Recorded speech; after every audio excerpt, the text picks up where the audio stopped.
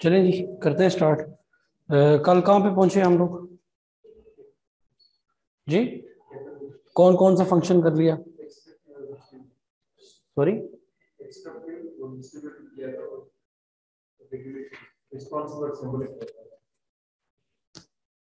समझ नहीं आई मुझे।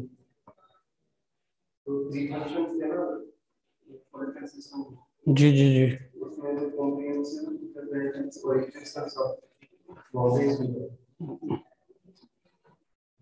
और पहले हमने आगे स्टार्ट कर लिया था कि उसके जो पॉलिटिकल सिस्टम के फ़ंक्शंस हैं, वो कौन कौन से हैं? तो उनको हमने तीन कैटेगरीज में डिवाइड किया था। एक बाय कैपेबिलिटी एक बाय मेंटेनेंस एंड अडेप्टेशन और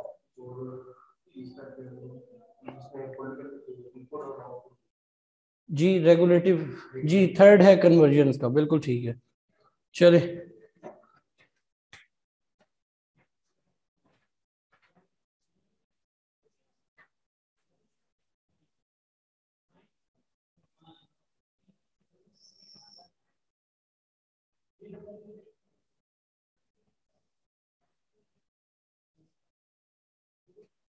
एक हो गया कन्वर्जन एक हो गया कैपेबिलिटी और एक हो गया अडेप्टेशन और हमने कौन से शुरू किए हैं जी? हमने शुरू किए बाय कैपेबिलिटी डन हो गए जी? हाँ जी। जी। तो अब आप स्टार्ट करते हैं जी। पॉलिटिकल uh, सिस्टम के जो फ़ंक्शंस हैं बाय कैपेबिलिटी तो सबसे पहला हमारा था जी एक्सट्रक्टिव एक्सट्रक्टिव फ़ंक्शन उसमें हमने क्या बात की है जी? उसमें हमने बात की है टैक्सेशन की ठीक है? कि जो सोसाइटी है उसमें से जो एक्स्ट्रा uh, प्रोडक्शन है या जो प्रोडक्शन है उसके ऊपर जो स्टेट है या पॉलिटिकल सिस्टम है वो कुछ एक्स्ट्रा अमाउंट जो है वो इनकॉर्पोरेट करता है ताकि वो पैसे जो है वो क्या हो सके? उनको आप सेंट्रल जो बॉडी है पॉलिटिकल सिस्टम है, वो उनको क्या कर सके? कलेक्ट कर सके और रीडिस्ट्रीब्यूट जो है, वो कर सके। जी नंबर टू पे क्या था? जी जी रेगुलेटिव इसमें हमने बात की थी लॉ एंड ऑर्डर की। ठीक है? जी कन्वर्जन के ऊपर ही अच्छा अभी चले। ठीक है, वो एक दफ़ा दोबारा हम एक दफ़ा रिवीजन कर लेते हैं। ठीक है, वो मुझे भी जेन में नहीं आ रहा था। जी, और उसके बाद हो गया नंबर थ्री जी डिस्ट्रीब्यूटिव तो डिस्ट्रीब्यूटिव में क्या है जी? जिसके अंदर आपने गुड्स सर्विसेज़ और प्रोडक्शन उसको क्या करना है? सोसाइटी के अंदर कैसे मैनेज करना है, कैसे ऑर्गेनाइज करना है, कैसे डिस्ट्रीब्यूट करना है? जी नंबर फोर पे क्या था जी? रिस्पॉन्सिव कि कोई भी दुनिया का पॉलिटिकल सिस्टम है तो वो जो अपने सिटीजन हैं जो अपने लोग हैं, उनकी जो भी नीड्स एंड रिस्पॉन्स आते हैं, उनको क्या करता है? रिस्पॉन्ड करता है, उनको जो है, वो क्या कहते हैं करेक्ट करता है, उनको उनको रिस्पॉन्सिव होता है, उनकी जो नीड्स होती हैं, उनके मुकाबले में उनको कोई ना कोई जवाब जो है, वो प्रोवाइड करता है। और पांचवा है जी सिंबॉलिक पांचवा है? सिंबॉलिक जी तो सिंबॉलिक में क्या है कि जिसके अंदर कोई भी दुनिया का पॉलिटिकल सिस्टम है, वो कुछ मोनोमेंट्स को, कुछ सिंबल्स को यूज़ करता है ताकि ओवरऑल सोसाइटी के अंदर एक एक वैल्यू रहे, लोगों की आइडेंटिटी रहे, लोगों को जो है वो एक सेंस ऑफ़ एसोसिएशन फील होती रहे।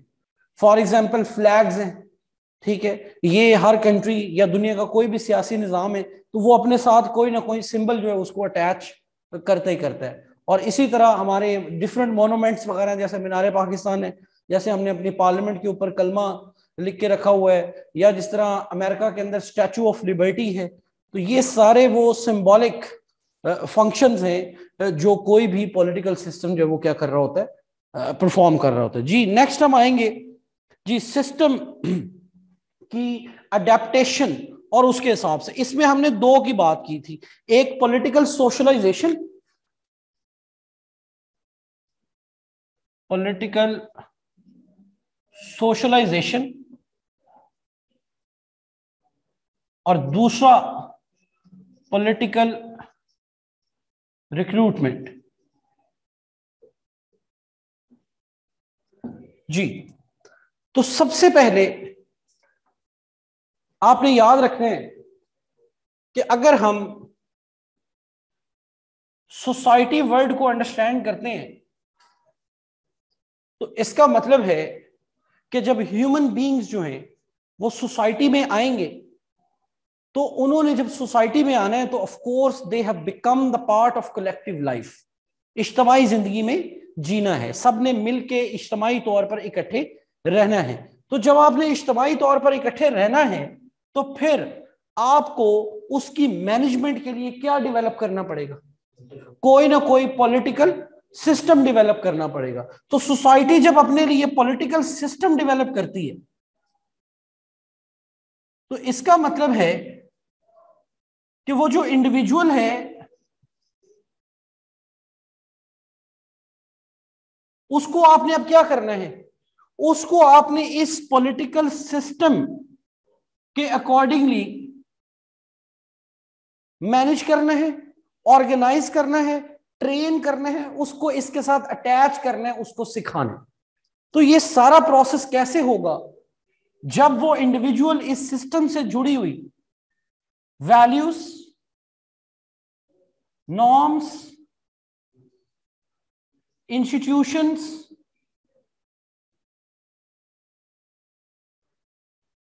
authority sorry जी, उसके उसके अंदर मौजूद जो लॉज हैं, जो भी उसके अंदर राइट्स हैं पावर अरेंजमेंट्स हैं तो इस बंदे को हमने क्या किया? उस पॉलिटिकल सिस्टम के अकॉर्डिंगली क्या करना शुरू कर दिया? ट्रेन करना शुरू कर दिया। ट्रेन करना शुरू कर दिया। तो ये जो ट्रेनिंग है, ये किसके थ्रू होगी? ये ट्रेनिंग होगी उन इंस्टीट्यूशंस के थ्रू जिनका काम है इंसान को पॉलिटिकली सोशलाइज करना।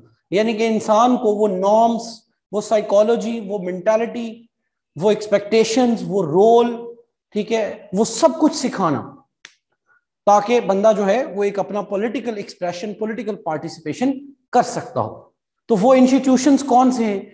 कुछ इंस्टीट्यूशंस का ताल्लुक डायरेक्टली खैर तो सारे इंस्टीट्यूशंस का ताल्लुक ही सोसाइटी से होता है, लेकिन family mosque school peer groups आपकी पॉलिटिकल पार्टीज़ आपके पॉलिटिकल लीडर्स ठीक है? सोशल मीडिया एजुकेशन कोई रेवोल्यूशंस कोई ऐसी सोशल या पॉलिटिकल मूवमेंट्स इमेजिन करें ना, अगर आप एंटी स्लेवरी मूवमेंट के दौरान पैदा हुए ठीक है? तो आपकी जो सोच होगी, वो उस टाइम जो करंट हालात चल रहे होंगे, कोई मूवमेंट चल रही होगी, कोई बड़ा रेवोल्यूशन आ रहा होगा तो वो आपकी सोच को, वो क्या करेगा? वन वे और द अदर वे इंपैक्ट करेगा। तो ये वो सारे इंस्टीट्यूशन है जो कौन सा रोल परफॉर्म करते हैं? पॉलिटिकल सोशलाइजेशन का। अब दुनिया का कोई भी सिस्टम है, खा वो जमहूरी है, खा वो गैर जमहूरी है, उन्होंने अपने जो शहरी हैं, उनको उस सिस्टम के अंदर क्या करने के लिए ट्रेन करने के लिए, या आपने अपना अच्छा काम ये करना है कि आपने दो एग्जांपल्स दे देनी है। एक डेमोक्रेसी की और एक आपने चाइना की। बतौर एग्ज़ाम्पल कि जिन मुल्कों में लिबरल डेमोक्रेसी है, वहाँ पर जो वैल्यूज़ हैं, लोगों को की जो पॉलिटिकल सोशलाइजेशन है, वो की जाती है around the values of freedom equality of rights equality of opportunity universal equality private property democracy self expression self government क्योंकि ये सारे जो मैंने भी वर्ड्स बोले हैं, इनका ताल्लुक किसके साथ है जी? डेमोक्रेसी के साथ है। लेकिन जब आप यहाँ पर हैं तो यहाँ पर आपको क्लास स्ट्रगल रेवोल्यूशनरी माइंडसेट ठीक है, उसके बाद आपको यहाँ पर कलेक्टिविज्म उसके बाद यहाँ पर आपको वन पार्टी ठीक है, यानी कि ये इस तरह की कंट्रोल ज़्यादा से ज़्यादा जो पावर है वो किसके पास है? वो स्टेट के पास है। तो दोनों तरफ़ जो है, दोनों स्टेट्स या दोनों इनफैक्ट स्टेट्स नहीं कहना चाहिए, दोनों पॉलिटिकल सिस्टम्स क्या कर रहे हैं? जो अपने शहरी हैं, उनके लिए एक फ़ंक्शन परफॉर्म कर रहे हैं and that function is political socialisation अच्छा जब ये पॉलिटिकल सोशलाइजेशन हो रही होती है ना, यानी कि जितने भी इंडिविजुअल्स हैं, वो ये सारा कुछ क्या कर रहे होते हैं? लर्न कर रहे होते हैं। तो असल जो पॉलिटिकल सिस्टम का इम्तिहान होता है, वो होती है उसकी पॉलिटिकल रिक्रूटमेंट अब ये पॉलिटिकल रिक्रूटमेंट क्या है? पॉलिटिकल रिक्रूटमेंट है कि कोई भी पॉलिटिकल एक्सप्रेशन ले लिया जाए।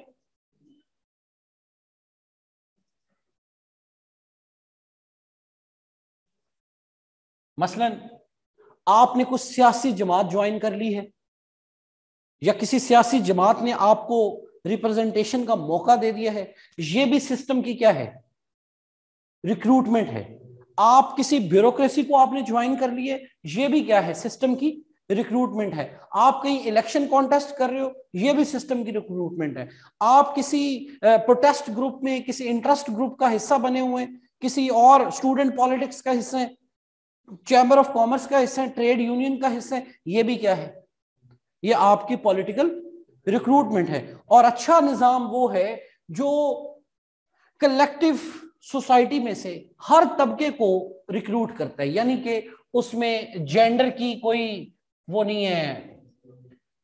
क्लास, कोई एथनिसिटी, यानी कि सोसाइटी के जितने भी सेगमेंट्स हैं, वो सारे के सारे कहीं ना कहीं अपने उस स्ट्रक्चर के अंदर क्या कर रहे होते?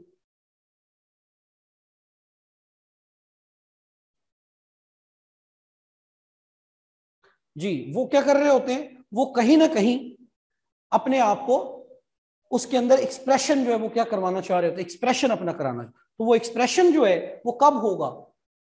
जब आपको कहीं ना कहीं पॉलिटिकल रिप्रेजेंटेशन का मौका मिलेगा। तो पॉलिटिकल रिप्रेजेंटेशन कब होगी? जब आपको किसी पॉलिटिकल एक्टिविटी का हिस्सा बनाया जाए। तो पॉलिटिकल एक्टिविटी का हिस्सा बनाने के लिए जो टर्म यूज़ हो रही है, वो है पॉलिटिकल रिक्रूटमेंट तो ये कोई भी दुनिया का सियासी जो सिस्टम है पॉलिटिकल सिस्टम है, वो अपने जो लोग हैं, उनके साथ फंक्शनली अगेन हम पढ़ क्या रहे स्ट्रक्चरल फंक्शनलिज्म तो सिस्टम क्या कर रहा है? एक स्ट्रक्चर है, जो कि मौजूद ही किस लिए? क्योंकि it has to perform some functions out of those functions related to adaptation we are done with political socialisation and political recruitment clear होगी बात? अब आएँगे जी सबसे इंपॉर्टेंट बताइएगा जी कन्वर्जन के एतबार से कौन कौन से? जी कन्वर्जन के एतबार से। कल लिखवाए थे यार। तो क्या क्या शामिल है इनपुट में और क्या क्या शामिल है आउटपुट में?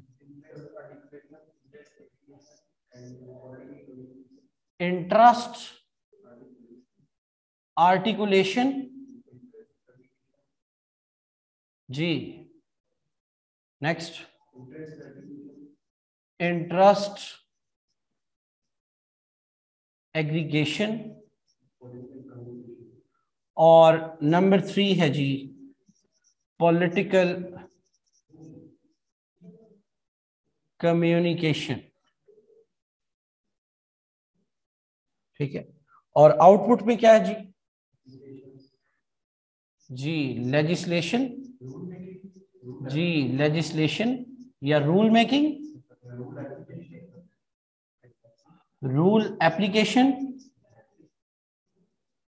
और रूल एडजुडिकेशन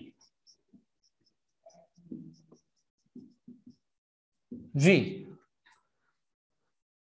जी, बिल्कुल ठीक हो गया। अब आते हैं, बड़ा एक दिलचस्प सी सूरत हाल होती है। Again you are part of the society society में आप रहे क्यों रहे थे? क्योंकि सोसाइटी ने आपको एक लालच दिया था कि सोसाइटी क्या करेगी?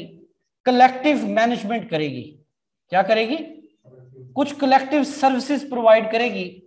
जैसे आप किसी रिहायशी कॉलोनी में रहते हैं तो वो आपको कहते हैं, जी कि ये कॉलोनी जो है, ये अपनी गैस खुद पैदा करती है, ये बिजली खुद पैदा करती है, पानी यहाँ पे जनाब जो है वो इस, हम सेल्फ सफिशेंट हैं, ठीक है? रोड्स अपने हैं, यानी कि सिक्योरिटी हमारी अपनी है, यानी कि इंसानी ज़िंदगी को गुजारने के लिए जितनी भी बुनियादी क्या है रिक्वायरमेंट्स हैं, वो सारी रिक्वायरमेंट्स जिस तरह उस हाउसिंग कॉलोनी में पैदा होती है। या मैं अक्सर अपने लेक्चर्स में एग्जांपल देता होता हूँ ओलंपिक स्टेडियम की, कि सोसाइटी क्या है उस ओलंपिक स्टेडियम की तरह है, जो इतना डाइवर्स है, इतना बड़ा है कि उसके अंदर हज़ार किस्म की गेम्स क्या हो सकती हैं?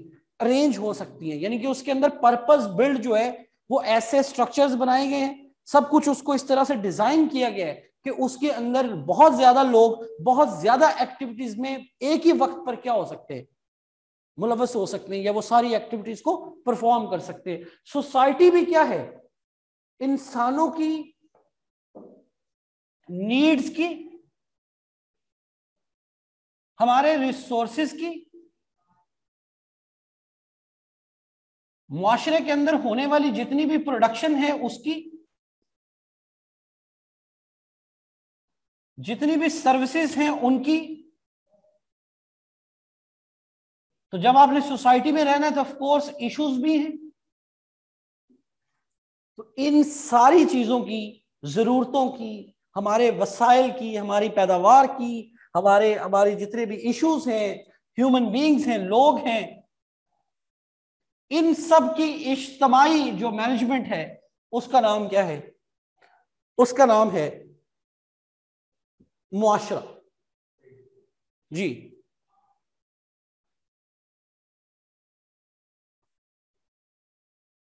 जी, उसका नाम क्या है? सोसाइटी तो जब आप सोसाइटी में रहते हो तो आपको रोज, आप सारे लोग सोसाइटी में रहते हैं, आपको पता है हमारे इश्यूज़ जुड़ जाते हैं बाजुकात, सैनिटेशन के साथ, एजुकेशन के साथ, कभी हमारे इश्यूज़ होते हैं जी क्राइम के रिलेटेड, कभी सिक्योरिटी के रिलेटेड। जी, उसके बाद कुछ इश्यूज़ हमारे होते हैं कॉमर्स के रिलेटेड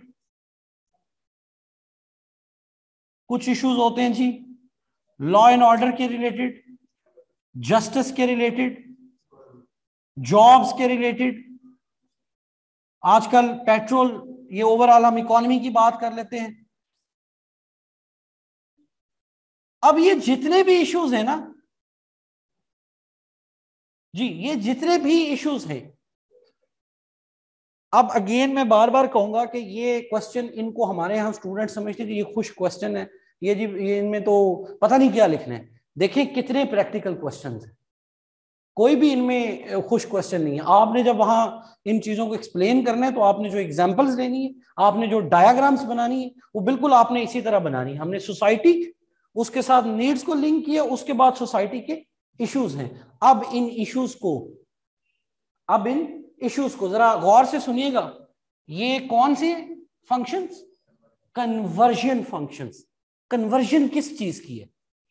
कन्वर्जन है कि माशरे में मौजूद लोगों के जो मसाइल हैं, उनके जो इश्यूज़ हैं, उनकी जो आवाज़ है, उनके जो सेंटिमेंट्स हैं, उनके जो इमोशंस हैं, उनकी जो विशेज हैं, उनके जो इश्यूज़ हैं, वो किस तरीके से प्रोटेक्ट नहीं करना, वो तो बाद की बात है ना, उनको किस तरीके से ऐसे किया जाए कि वो आपस में ऐसे जुड़ जाए। क्या कर जाए? जुड़ जाएँ, इकट्ठे हो जाएँ। यानी कि पूरी सोसाइटी उन पर क्या होती रहे? मुतफिक होती रहे, उसका हिस्सा बनती रहे। वो इश्यूज़ किसके हो जाए? पूरी उनको प्रॉपरली हम कम्युनिकेट कर सके। तो वो कम्युनिकेशन जो है, उनका जो एक्सप्रेशन है, वो किस तरीके से होगा? वो तीन फ़ंक्शंस परफॉर्म करेगा कोई भी पॉलिटिकल सिस्टम दुनिया का तो वो सारी चीज़ें हम, ये सारा हमारा मसला जो है वो किससे हल हो जाएगा? इन तीन फ़ंक्शन से। पहला है जी इंटरेस्ट आर्टिकुलेशन इंटरेस्ट एग्रीगेशन और नंबर थ्री पॉलिटिकल कम्युनिकेशन अब ये इंटरेस्ट आर्टिकुलेशन इंटरेस्ट एग्रीगेशन या पॉलिटिकल कम्युनिकेशन ये किसके थ्रू पॉसिबल हो सकती है? ठीक है? तो ये जनाब एक उसने, क्या नाम है आपका? आलमंड है। उसने आपके जो इंटरेस्ट ग्रुप्स हैं, कौन से? इंटरेस्ट ग्रुप्स हैं, उनको प्राइमरीली उनकी रिस्पॉन्सिबिलिटी बनाई है, या उनके जिम्मे ये, या वो सेम फ़ंक्शंस हैं स्ट्रक्चर्स हैं, जो क्या करते हैं, जो ये वाला रोल परफॉर्म करते हैं। Interest groups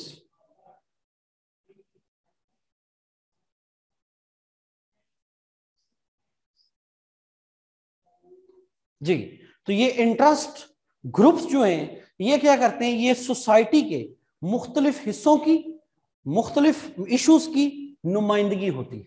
chamber of commerce है ट्रेड यूनियन है, ठीक जी? जी मीडिया है सिविल सोसाइटी है, ठीक है? उसके बाद आपका जनाब ये जो है ट्रेडर्स ट्रेड यूनियन है, बाज़ार एसोसिएशन है।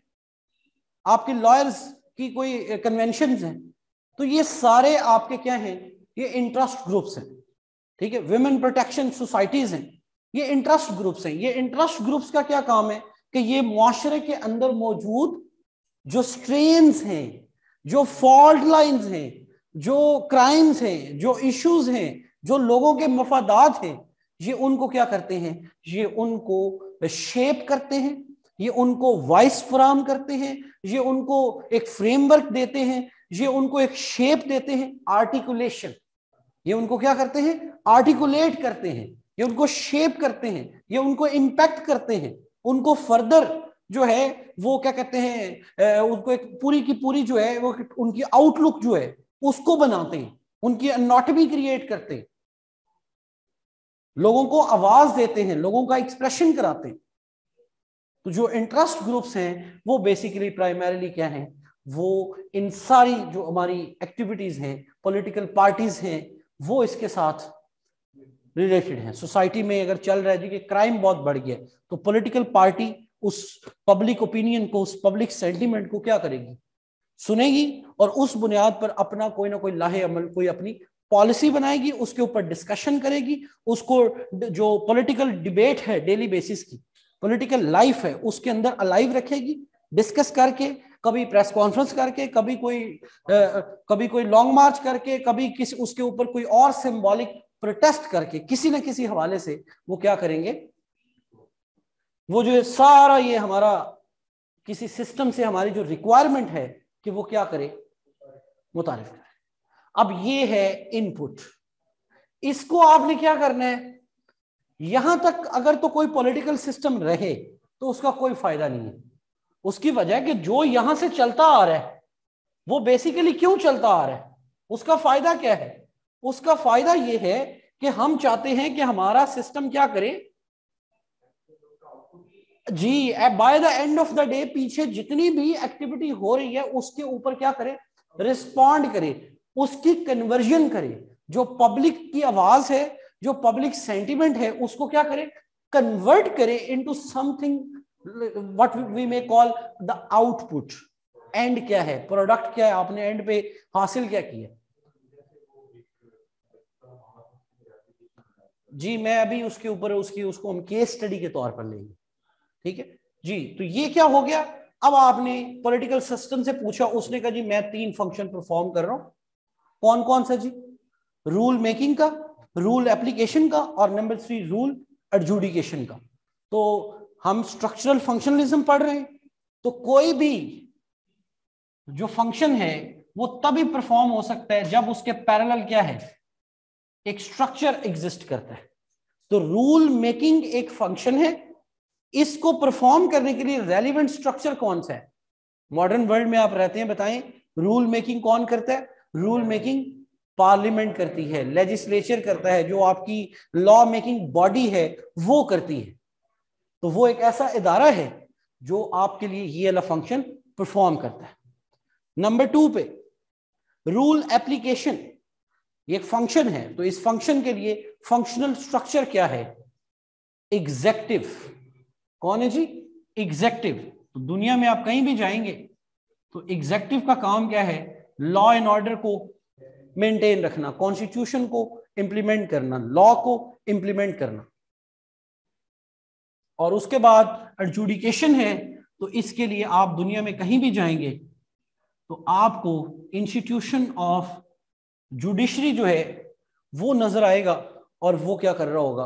वो लोगों के जो आवाज़ से बनाए गए कवानीन हैं, उनमें अगर कोई तब्दीली करनी है, उनके अंदर कोई अगर अपना जो है, उनके ऊपर कोई तशरी करनी है, उनकी कोई इंटरप्रटेशन करनी है तो वो सारी चीज़ें जो हैं, वो बेसिकली फिर आपको कहाँ से मिलेंगी? वो सारी की सारी चीज़ें आपको तब मिलेंगी जब कोई भी दुनिया का पॉलिटिकल सिस्टम अपने आउटपुट जो फ़ंक्शंस हैं, उनको क्या कर रहा होगा? परफॉर्म कर रहा होगा। क्लियर हो गया जी? ठीक है? अच्छा इसमें ना अभी एक पेज ले लें, एक केस स्टडी बनाएँ जरा। ये आपने वहाँ पे डेवलप करनी है।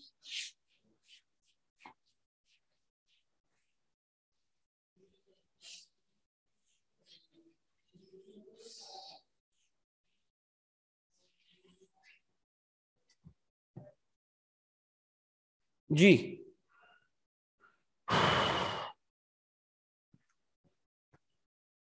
जी, हम एग्ज़ाम्पल ले रहे हैं जी।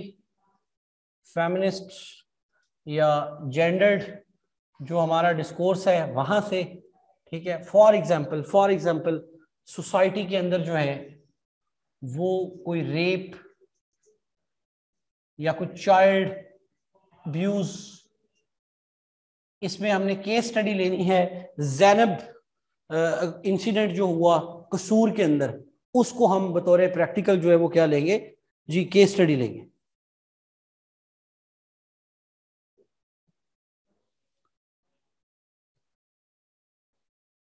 जी, इस चीज़ के ऊपर पब्लिक रिएक्शन आता है।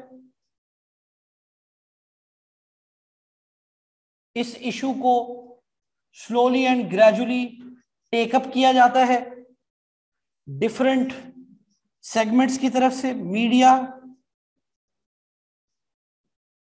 civil society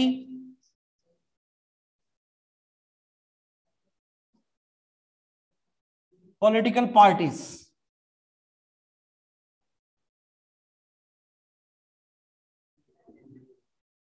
जी एनजीओ वगैरह। ठीक है? जी, ये डिस्कस होता है तो इसके ऊपर स्लोली एंड ग्रेजुअली एक wider public opinion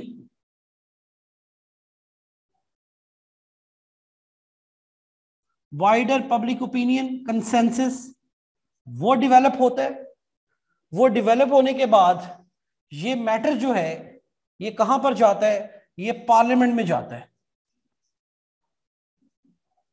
पार्लियामेंट जो है, वो इसके ऊपर डिबेट्स डिस्कशन इंटरेस्ट आर्टिकुलेशन सारी चीज़ें करवाती।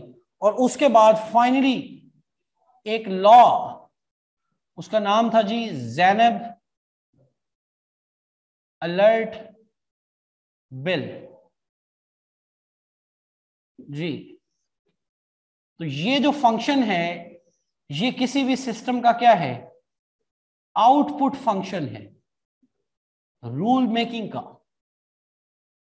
इसमें आप एक और भी बड़ी ज़बरदस्त एग्ज़ाम्पल है जो जिन बच्चों का जेंडर स्टडीज़ है या जो बड़े आराम से एग्ज़ाम्पल ले सकते हैं, अमेरिकन वुमेन का जो राइट टू वोट है, ठीक है? वो भी इसी तरह शुरू में कन्वेंशन हो रहे हैं, ठीक है? डिबेट्स हो रही हैं प्रोटेस्ट हो रहे हैं राइटिंग्स हो रही हैं, ठीक है? डायलॉग्स हो रहे हैं। और करते करते करते करते तो 1920 के अंदर नाइनटीन अमेंडमेंट वो प्रपोज पास हुई इन द यूएस कॉन्स्टिट्यूशन जहाँ पर खातन जो है उनको राइट टू वोट मिल गया।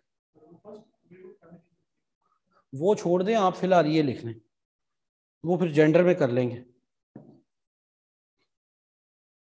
डन हो गया जी। ये ज़रूरी नहीं है, ये मैंने सिर्फ़ आपको, वो बच्चे बाज कह रहे होते ना, सर आप बताएँ एक्चुअली में करके दे दें। तो दिस इज़ हाउ पेपर में आप जो है वो एज अ केस स्टडी किसी चीज़ को इनकॉर्पोरेट और ज़रूर करें। इस तरह के सवालों में काफ़ी आपको बेनिफिशियल हो जाता है मामला। डन हो गया। एक बंदे का नाम लिखिए जरा जी। जी।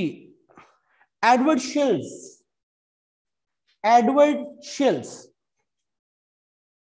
Edward Shils जी।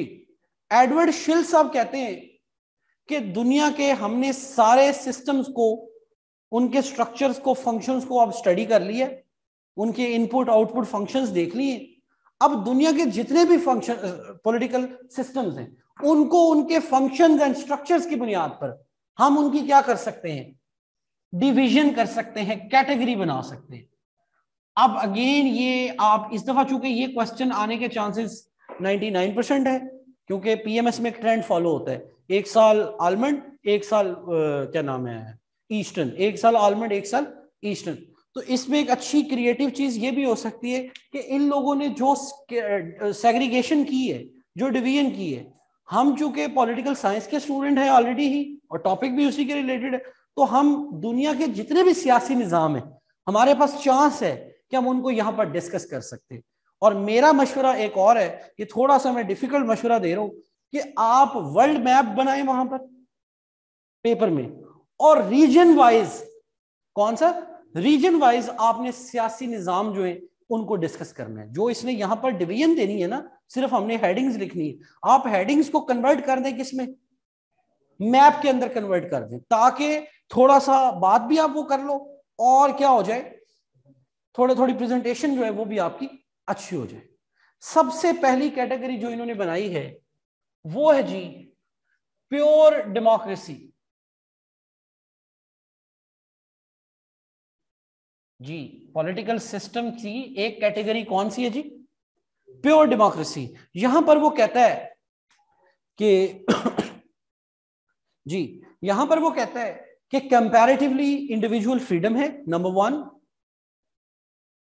नंबर टू जो आपके स्टेट इंस्टीट्यूशंस हैं या स्ट्रक्चर फ़ंक्शंस हैं जैसे एग्जेक्टिव लेजिस्लेचर जुडिशरी ये रिलेटिवली फ्री है। ये फ्रीली इनपुट देते हैं फ्रीली आउटपुट देते हैं।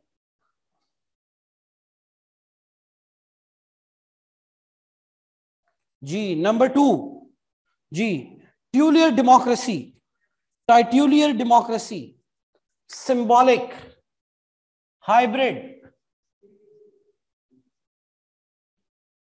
जी सिंबॉलिक डेमोक्रेसी अब जो ऊपर वाला है, उसमें आप किन किन एग्जांपल देंगे?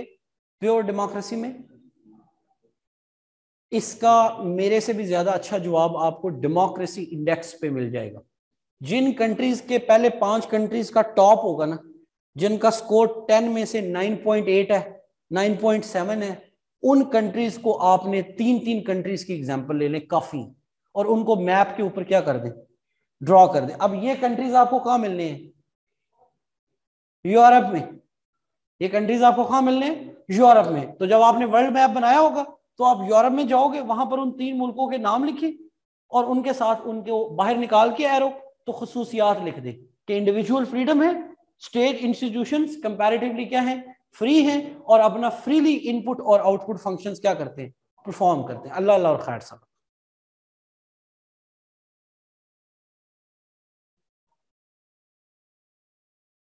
जी जैनब अलर्ट बिल लिखा हुआ है। जी नंबर टू जी। ठीक है। जी, इसमें क्या है? लेवल प्लेइंग फ़ील्ड नहीं होती। इलीट जो है, उसका वो कैप्चर करती है पावर को।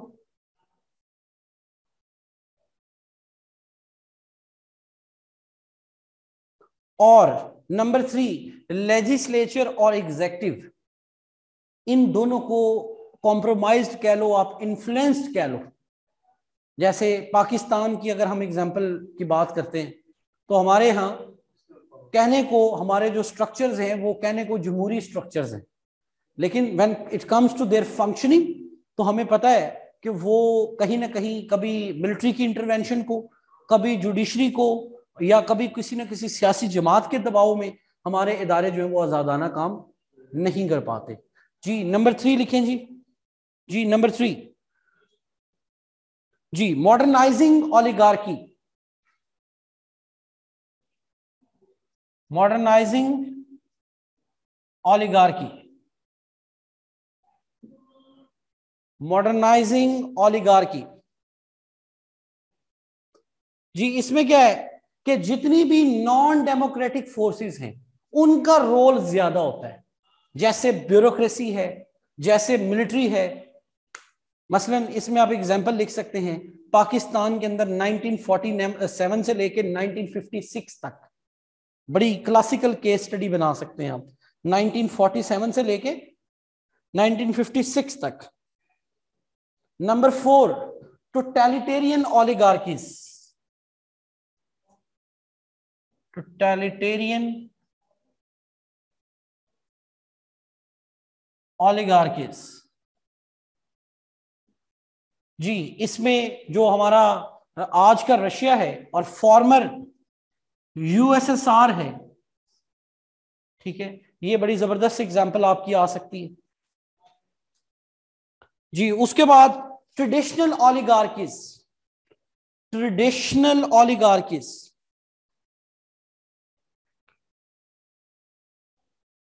जी, जैसे आपके अरब किंगडम्स हैं जी। जिनमें फ्यूडल सॉरी जो आपकी डायनेस्टिक हेरिडिटरी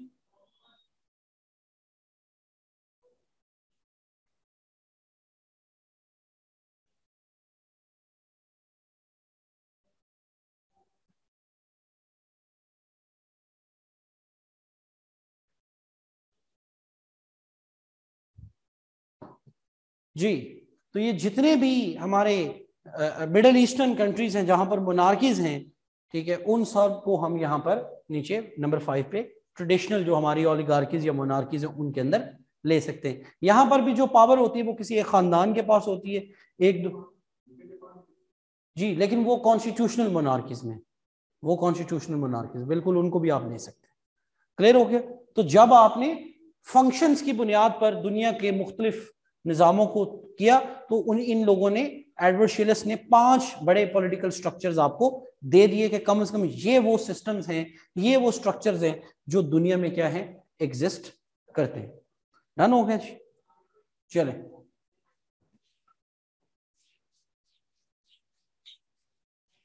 ले जी, अब हम आएँगे। सबसे पहले, अब मैं मार्क्स जो है, वो थोड़ा सा आपको डिस्कस करूँगा। और उसके बाद हमने आना है लेनिन पे। और उसके बाद आना है जी हमने माओ पे। माओइज्म तो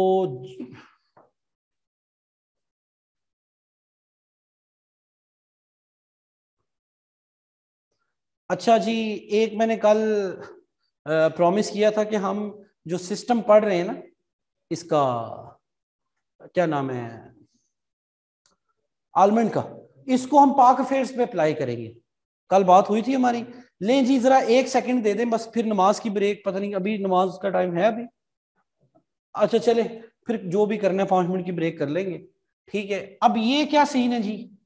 ये सीन ये है कि जितने भी उसने फ़ंक्शंस बताए हैं किसी भी पॉलिटिकल सिस्टम ने जो परफॉर्म करने अगर आप गौर से देखें तो वो सारे सिस्टम्स को अगर हम एक तरतीब में लिखें ना तो वो सिस्टम्स क्या बनते हैं कि स्टेट का काम है टैक्स कलेक्शन करना, जी लॉ एंड ऑर्डर प्रोवाइड करना और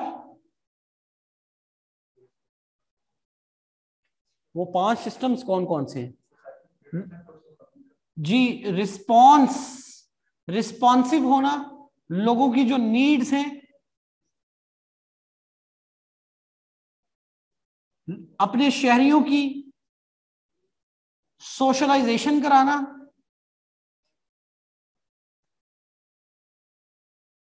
एडजुडिकेशन करना लेजिस्लेशन करना ये मेजर फ़ंक्शंस हैं।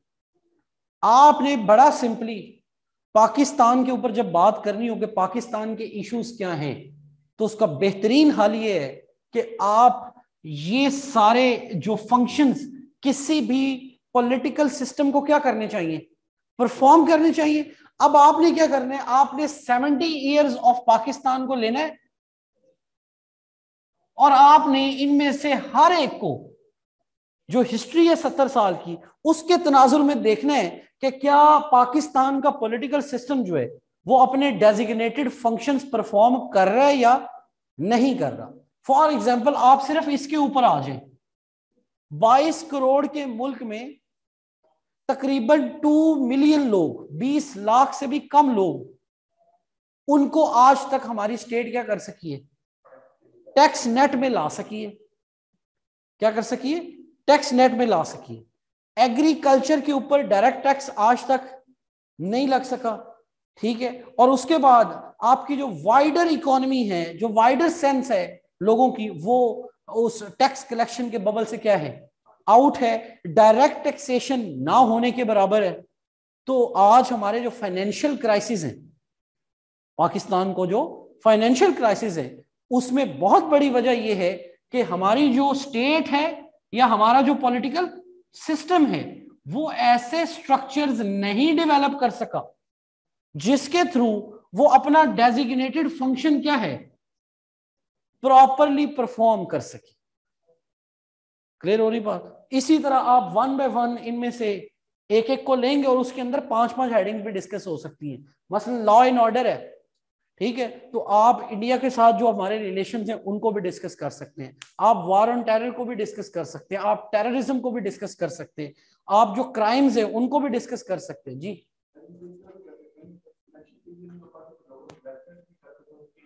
जी, ये बिल्कुल बिल्कुल बिल्कुल बिल्कुल। आप इन सबको थोड़ा सा अगर जोड़ेंगे तो ये पूरे का पूरा आपका 20 नंबर का जो क्वेश्चन है, वो बन सकता है। वो इसलिए मैं कह रहा हूँ कि ज़्यादातर बच्चे जो है ना, आजकल जो इधर पीएमएस में चल रहा होता है आप पूछेंगे ना पाकिस्तान के इश्यूज़ के अंदर मेजोरिटी बच्चे एक ही जैसा जवाब जो है वो लिख रहे होते हैं। तो मैंने कहा चले। जी अब्दुल मनान वेरी अब, अपना दिल मंजूर वेरी गुड वो कह रहे हैं जी कि structural deformity is the cause of functional deformity क्या बात है जनाब ये तो कोटेशन हो गई है। अदील मंजूर खैर तो है आज मौसम लगता है कोई अच्छा है, है? तो ये लिख लें आप लोग भी जी कि structural deformity is the cause of functional deformity और आपको पता है ना, अगर कोई शहरी जो है, उनको अपनी पॉलिटिकल सिस्टम से तहफात हों, यानी कि वो सही तरह फुलफिल ना हो रहा हो तो उसके मुकाबले में फिर क्या होता है? लोग प्रोटेस्ट भी करते हैं, लोगों के अंदर एक डिसएसोसिएशन आ जाती है सिस्टम के अगेंस्ट एनिमॉय आती है, एक हेट्रेड आती है। जैसे आजकल पाकिस्तान में आप देखेंगे ना पॉलिटिक्स से थोड़ी सी नफरत जो है, वो बढ़ रही है। पॉलिटिशियन से जो नफरत है, वो बढ़ रही है। ओवरऑल और जितनी भी ये आ रही है आपकी, ये पेट्रोल के हवाले से जो भी हो रहा है, लोगों के अंदर ओवरऑल एक एक साइकोलॉजिकल इसकी रिपरकशन बहुत ज़्यादा आ रही हैं कि जी महँगाई बढ़ गई है, ठीक है, और और बहुत सारा चीज़ें जो है वो हो रही है। जी structural deformity is the cause of functional deformity of the political system of Pakistan done हो गया जी। चलें जी तो दो मिनट हम ब्रेक कर लेते हैं। ब्रेक के बाद जो है वो हमने लेलन जो है उसको स्टार्ट करना जी ऑनलाइन वाले बच्चे डन हो गया। सिर्फ़ दो मिनट जो है वो हम ब्रेक करेंगे। ब्रेक के बाद फिर हम लेलन स्टार्ट कर रहे हैं। और अगर पॉसिबल है तो आप अगर मार्क्स जो है, वो उसको रिपीट कर सकते हैं तो कर लें। ठीक है? जो बच्चे मार्क्स को पढ़ सकते हैं रिपीट कर सकते हैं, थोड़ी जहमत कर सकते हैं, वो कर लें। ठीक है? Thank you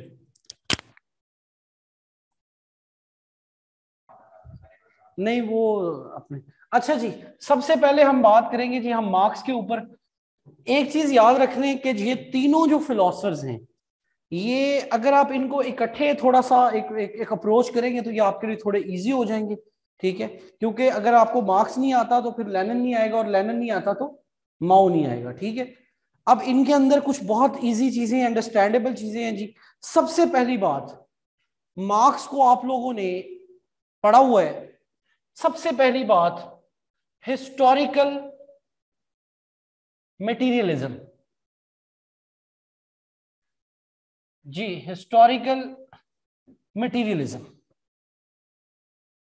the history of mankind is the history of matter यानी कि जो इकोनॉमिक या प्रोडक्शन ओरिएंटेड प्रोडक्शन रिलेटेड जो व्यू है मार्क्स का, वो है हिस्ट्री को। अब ये पॉइंट इतना सिंपल नहीं है कि हम ये बात कर दें कि history of mankind is the history of matter अब यहाँ पर एक चीज़ का हमने ख्याल रखना है कि जो इंसान की तारीख है, वो कभी कहा जाता है कि वो आइडियाज़ की तारीख है कभी कहा जाता है कि वो वॉरियर्स की तारीख है। कभी कहा जाता है कि वो रिलीजन्स की हिस्ट्री है। तो मार्क्स के करीब जो हिस्ट्री है बेसिकली वो जो आपके रिलेशंस ऑफ़ प्रोडक्शन है रिलेशंस ऑफ़ प्रोडक्शंस और आपके जो मॉड ऑफ़ प्रोडक्शन हैं बेसिकली ये इंजन ऑफ़ सिविलाइजेशन है driving ji driving forces of human life है driving forces of human civilisation है। क्लियर होगी बात? प्रोडक्शन मॉड ऑफ़ प्रोडक्शन और रिलेशंस ऑफ़ प्रोडक्शन और यहाँ से दूसरा कॉन्सेप्ट हमें पता होना चाहिए, वो है डायलैक्टिकल मटीरियलिज्म तो ये जी हिस्ट्री अभी हमने कहा कि हिस्ट्री किसकी है? रिलेशंस ऑफ़ प्रोडक्शन की मॉड ऑफ़ प्रोडक्शन की। तो ये जो रिलेशंस ऑफ़ प्रोडक्शन है और मॉड ऑफ़ प्रोडक्शन है, इनकी जो मूवमेंट है वो मूवमेंट जो है, वो किस एंगल में है, वो कॉन्ट्राडिक्शन में है। मैं बहुत ज़्यादा डिटेल में नहीं जा रहा, क्योंकि हमने इवेंचुअली आना है किसके ऊपर? लेनिन के ऊपर। तो सिर्फ़ मैं रिवीजन करा रहा हूँ ताकि आपको थोड़ा आजे जेन में कि जी अच्छा मार्क्स के बारे में हमें ये बातें पता है तो आगे चल के काम चले। तो हिस्ट्री क्या है जी? कॉन्ट्राडिक्शंस कॉन्ट्राडिक्शंस किसकी? मार्क्स के एंगल में आपको पता है कि capitalist class versus labour class ठीक है? स्लेव्स वर्सेस मास्टर्स ठीक है? पीजेंट्स वर्सेस फ्यूड्स या फ्यूडल लॉर्ड्स तो ये इंसान की तारीख बेसिकली इकोनॉमिक रिलेशंस की। और ये इकोनॉमिक रिलेशंस क्या है? इनहेरेंटली क्या है? कॉन्ट्राडिक्टरी है। हर चीज़ का तजाद उस चीज़ के अंदर मौजूद है। ठीक है ना? रियलिटी क्या है? Unity of opposites unity of opposites जिस तरह हमारे अंदर नेकी और बदी है अच्छाई और बुराई है, दिन और रात है, ठीक है? तो ये इसी तरह से मोरालिटी है वर्सेस ए मोरालिटी है। तो ह्यूमन लाइफ जो है, वो basically is compose of different contradictions तो ये कॉन्ट्रडिक्शंस जो है, ये बेसिकली किस सूरत में मार्क्स हम, हमें बताते हैं? डायलैक्टिकल जी डायलैक्टिकल मटेरियलिज्म उसके बाद नंबर थ्री मार्क्स कहता है कि ये जो डायलैक्टिकल मटेरियलिज्म है इसकी जो मॉडर्न फॉर्म है, वो कौन सी है? वो है कैपिटलिज्म वर्सेस या capitalist class versus labour class capitalist class versus labour class तो वो यानी कि क्लास स्ट्रगल क्लास स्ट्रगल तो वो कह रहा है कि ये जो क्लास स्ट्रगल है, ये क्या करेगी? ये कंटिन्यू रहेगी. और नंबर फोर जो व्यूज़ आपको पता होने चाहिए, वो है कैपिटलिज्म के. मार्क्स कहता था कि जितनी हाईली इंडस्ट्रियलाइज कंट्रीज़ हैं, और उस टाइम उसका हाईली इंडस्ट्रियलाइज कंट्री से मुराद जर्मनी और इंग्लैंड था। जर्मनी और इंग्लैंड। तो जर्मनी और इंग्लैंड में उसका यह ख्याल था कि जैसे जैसे इंडस्ट्रियलाइजेशन बढ़ेगी, जो कैपिटलिज्म है, इसके अंदर की अपनी जो इनहेरेंट क्या है? कॉन्ट्राडिक्शन हैं। इनहेरेंट कॉन्ट्राडिक्शंस ये क्या करेंगी? ये इनहेरेंट कॉन्ट्राडिक्शंस जो हैव नॉट्स हैं, यानी कि कौन? लेबर क्लास उनके अंदर क्या करेगी? एक क्लास कॉन्शियसनेस क्लास कॉन्शियसनेस उसको स्पॉन्टेनियसली कैसे? स्पॉन्टेनियसली उसको क्रिएट करेगी और जितनी इंडस्ट्रियलाइजेशन बढ़ती जाएगी, उतनी एक्सप्लाइटेशन क्या होगी? बढ़ती जाएगी। जितनी एक्सप्लाइटेशन बढ़ेगी, उतनी ही जल्दी वो कहता है कि जो आपकी लेबर क्लास है, वो अपनी कॉन्शियसनेस के उस एतबार पर आ जाएगी कि जहाँ पर वो लोग क्या करेंगे? वो लोग रेवोल्यूशन लेके आएँगे।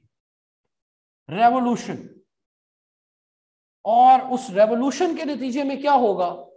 एक classless revolution of the proletariat revolution of the labour class वो क्या हो जाएगा? एस्टैब्लिश हो जाएगा। और एंड के ऊपर एक आइडियल सोसाइटी जिसकी बुनियाद किसके ऊपर है? यूनिवर्सल जस्टिस के ऊपर इक्वालिटी के ऊपर नो पावर रिलेशंस उनके ऊपर। लेकिन वो आइडियल सोसाइटी वो आइडियल स्टेट का खाका क्या होगा? वो कैसी होगी? क्या होगा? इसके बारे में मार्क्स ने कोई बात नहीं की है। लेकिन उसने ये बात ज़रूर की है कि ये जो डायलैक्टिकल मटेरियलिज्म है, ये मूव करते करते अपनी फाइनल स्टेज भी अचीव करेगा और वो फाइनल स्टेज क्या होगी? जहाँ पर रेवोल्यूशन ऑफ़ द जो प्रोलिटेरियत है, वो आ जाएगा। इन शॉर्ट एक क्लास लेस सोसाइटी क्या हो जाएगी? एस्टैब्लिश हो जाएगी। क्योंकि जो वर्कर्स होंगे, वो तो इनकलाब ले आएँगे। जब वो इनकलाब लाएँगे, वो स्टेट पावर के ऊपर क्या कर लेंगे? कब्जा कर लेंगे। जब वो स्टेट पावर के ऊपर कब्जा करेंगे तो फिर जो बॉर्जुआ क्लास है, उनकी बनाई हुई स्टेट उसको वो क्या कर देंगे? अबॉलिश कर देंगे और उसके बाद उसके ऊपर जो नई स्टेट कंस्ट्रक्ट करेंगे, वो स्टेट किसकी होगी? वो प्रोलिटेरियन स्टेट होगी। वो स्टेट ऑफ़ द लेबर होगी। स्टेट ऑफ़ द वर्कर्स होगी। जी, वो स्टेट ऑफ़ द वर्कर्स होगी। तो जब वो स्टेट ऑफ़ द वर्कर्स होगी तो इसका मतलब है कि वहाँ पर जो मॉड ऑफ़ प्रोडक्शन है, वो सोशलाइज्ड हो जाएगा। दैट इज़ वाई जो मार्क्स है, उसकी एंड पे जो स्कीम है, वो क्या है कि एक सोशलिस्ट एक कम्युनिस्ट जो लिविंग स्टैंडर्ड है, एक लिविंग ऑर्डर है सोशल ऑर्डर है, वो क्या कर लिया जाए? वो क्रिएट कर लिया जाए। क्लियर होगी बात? अब आते हैं लेनिन के ऊपर। जब भी मार्क्स के लेनिन के ऊपर क्वेश्चन आएगा, आपने सबसे पहले मार्क्स के ये जो आइडियाज़ है, इनको ब्रीफ फॉर्म में, मैं फिर कह रहा हूँ किस फॉर्म में?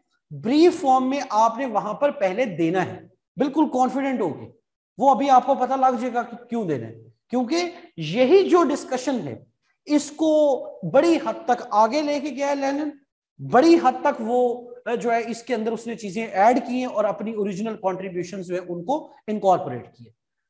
ठीक है? मसलन, लेनिन और मार्क्स में अगर सिमिलैरिटीज की बात करें, लेनिन में और मार्क्स में सिमिलैरिटीज की बात करें तो सबसे पहली चीज़ ये है कि लेनिन एग्री करता है मार्क्स से। किस बात के ऊपर?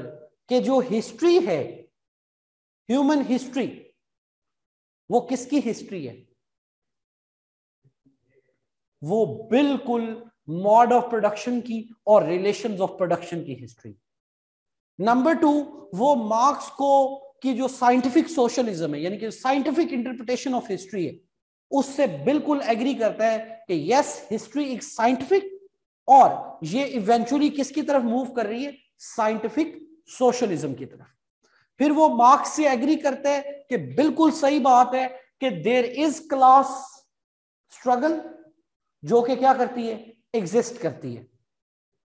नंबर फोर वो मार्क्स से एग्री करता है कि बिल्कुल there will be a revolution लेकिन वो इख्तलाफ भी करेगा अभी कि कैसे रेवोल्यूशन आएगा, उसमें कौन किसका क्या रोल होगा, वो सारी बातें वो अलग अभी मैं कोशिश कर रहा हूँ, जो सिमिलर और पांचवी चीज़ ये है कि by the end of the day जो लेनिन है और जो मार्क्स है इवन माओ ये सारे लोगों का आइडियल क्या है? कि एंड के ऊपर सोशलिस्ट कम्युनिस्ट एक ऐसी सोसाइटी एक ऐसा सोशल सोशो पॉलिटिकल ऑर्डर बनाया जाए, जिसके अंदर क्या हो? जिसके अंदर जो लोगों के दरमियान रिलेशनशिप है स्टेट के और लोगों के दरमियान जो रिलेशनशिप है वो क्या हो? वो इक्वालिटी की बुनियाद पर हो। वो किसकी बुनियाद पर हो? इक्वालिटी की बुनियाद पर हो। किसकी बुनियाद पर हो जी? इक्वालिटी की बुनियाद पर। समझ आ गई बात? तो अब आपने यहाँ पर लेनिन और मार्क्स को इकट्ठे करके क्या कर लिया? ब्रिज बना दी। पहले आपने सिर्फ़ मार्क्स को लिखा, फिर आपने लेनिन और मार्क्स को आपने आगे थोड़ी सी जगह देनी है। और उसके आगे फिर हम आगे बात अभी चलाते हैं।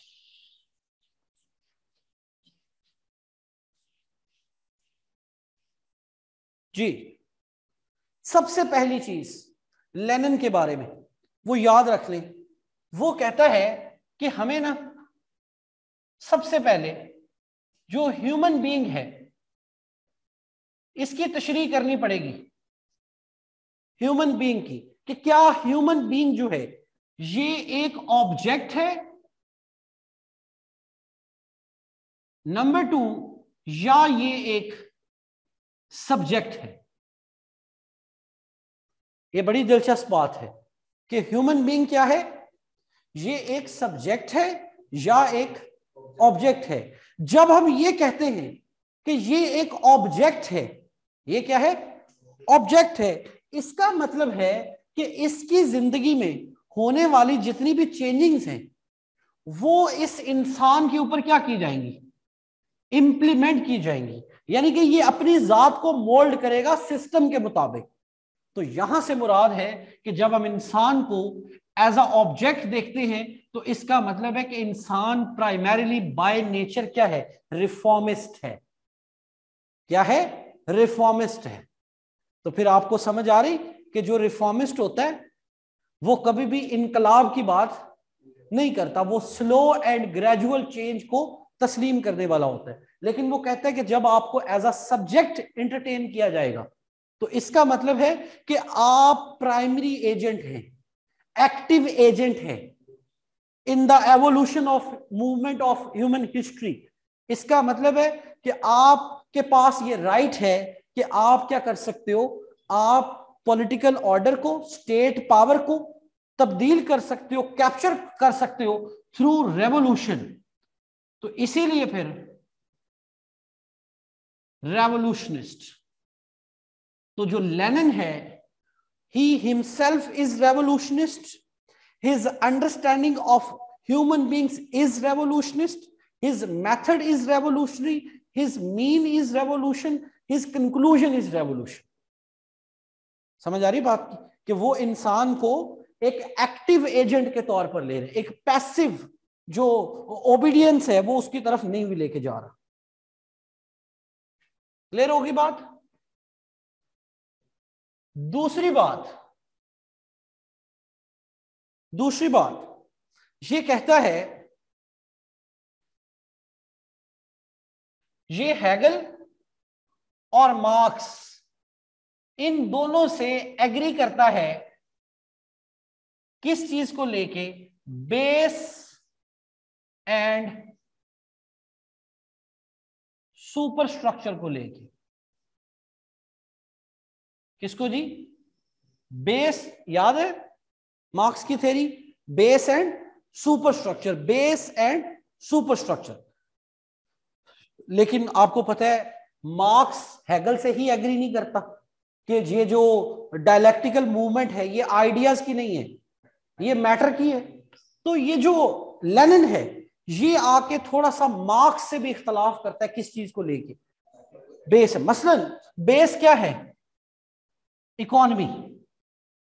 अब ये गौर से सुनिएगा। बेस क्या है? इकोनॉमी। तो क्या कहता था कि जिस तरह की इकोनॉमी होगी, उसके कॉरेस्पॉन्डिंगली क्या होंगे? सोसाइटी डेवलप होगी।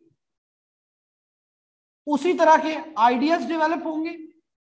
उसी तरह की वैल्यूज़ डेवलप होंगी। और उसी तरह का जो पॉलिटिकल कल्चर है पॉलिटिकल स्ट्रक्चर है, वो भी क्या होगा? जो इस चीज़ को क्या कर रहा होगा? कॉरेस्पॉन्ड कर रहा होगा। तो ये ऊपर वाली जितनी भी चीज़ें हैं, ये क्या है? सुपर स्ट्रक्चर और इकोनॉमी क्या है? बेस है। हैगल सॉरी जो लेनिन है, उसका पॉइंट ऑफ़ व्यू पता क्या है? उसका पॉइंट ऑफ़ व्यू है कि ऐसा नहीं है।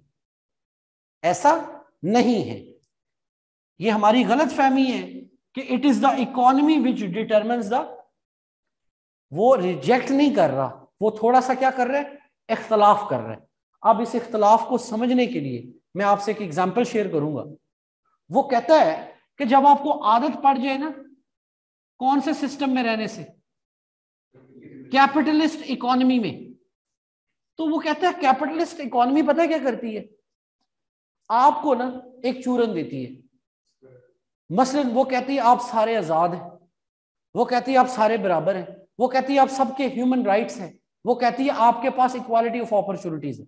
इसका मतलब है इकोनॉमी को लोगों की ज़िंदगी का हिस्सा बनाने के लिए लोगों को उसकी आदत डालनी पड़ती है। तो वो जो आदत है, वो कहाँ से शेप होती है? वो उन वैल्यूज़ से, उन नॉर्म से, उन उन उन सोशल स्ट्रक्चर से पॉलिटिकल सिस्टम से ताकि वो बंदा जो है, उसको काबू रखा जा सके उस सोशल ऑर्डर के अंदर। तो ये कहता है कि जो इकोनॉमी है, ज़रूरी नहीं है कि हर दफ़ा इकोनॉमी ने इनको इंपैक्ट करना है, बल्कि ये जो वैल्यूज़ हैं, ये जो नॉर्म्स हैं, ये भी बंदे का जो मेंटल स्ट्रक्चर है या जो उसका इकोनॉमिक लिविंग स्ट्रक्चर है, उसको क्या कर रही होती है? शेप कर रही होती है। तो ये सुपर स्ट्रक्चर का और बेस का क्या करवा रहा है?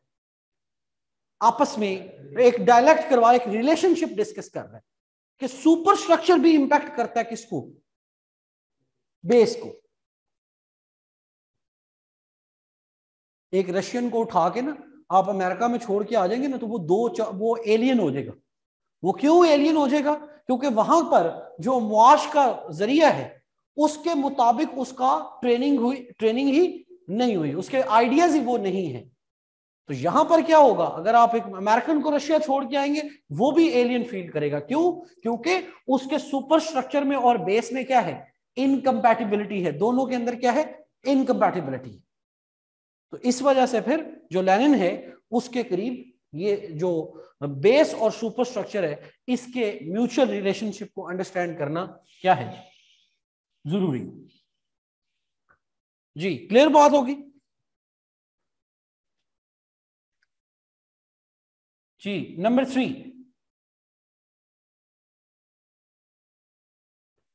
जी नंबर थ्री उसके बाद अगली बात वो करेगा क्लास स्ट्रगल को लेके।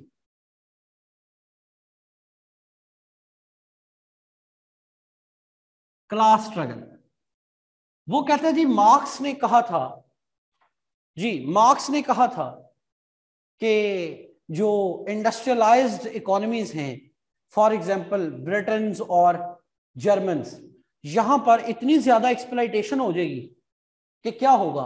Revolution of the proletariat working class वो आ जाएगा। तो उसने कहा जी कि जो मैंने एनालिसिस किया है अठारहवीं और उन्नीसवीं सदी का तो ये तो क्या हो रहा है? दुनिया में नया ट्रेंड शुरू हो गया। और वो ट्रेंड क्या है? कि जो कैपिटलिज्म है वो इंक्रीज हो रही है। वर्किंग क्लास इंक्रीज हो रही है। वर्किंग क्लास की जो वेजेस हैं, वो इंक्रीज हो रही है। कोई भी बड़ी इनकलाबी, मार्क्स की जो प्रोडिक्शन थी ना, कि वहाँ के जो वर्कर्स हैं, वो क्या करेंगे? इनकलाब ले आएँगे। उसने कहा, कोई भी बड़ी रेवोल्यूशनरी मूवमेंट वो यहाँ पर नहीं आ सकी। और ना ही कहीं पर कोई आसार नज़र आ रहे हैं कि जनाब यूरोप के अंदर जो है, वो कहीं पर कोई क्लास लेस जो सोसाइटी है, वो क्या होगी? वो इस्टेब्लिश हो रही है। वो क्या है? वो इस्टेब्लिश हो रही है। तो ऐसी कोई भी सूरत हमें यहाँ पर नज़र नहीं आ रही।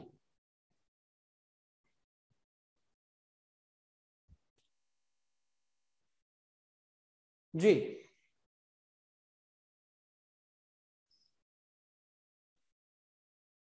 तो मार्क्स के ऊपर क्रिटिसिज्म किया, बात की, और अब उसने कहा कि मार्क्स का असल में मसला पता क्या है?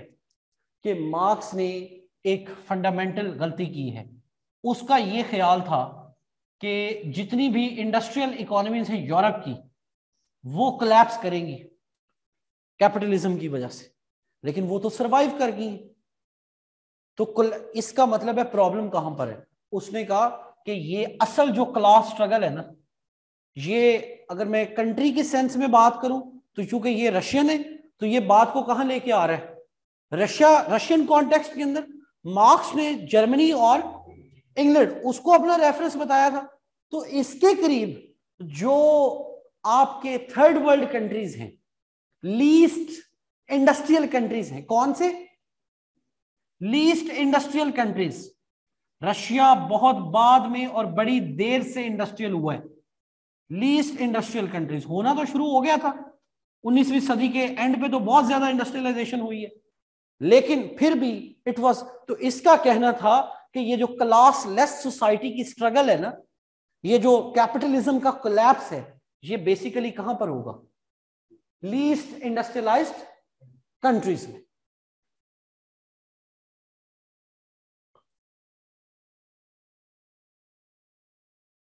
जी डन हो गया। उसके बाद चौथी चीज़ वो कहता है कि ये जो क्लास स्ट्रगल है, इसकी एंड पे रेवोल्यूशन आना चाहिए था मार्क्स के करीब। वो नहीं आया। उसकी दो से तीन बड़ी रीजंस देता है। और इसका बहुत बड़ा आइडिया है, उसको कहते हैं, जी false class consciousness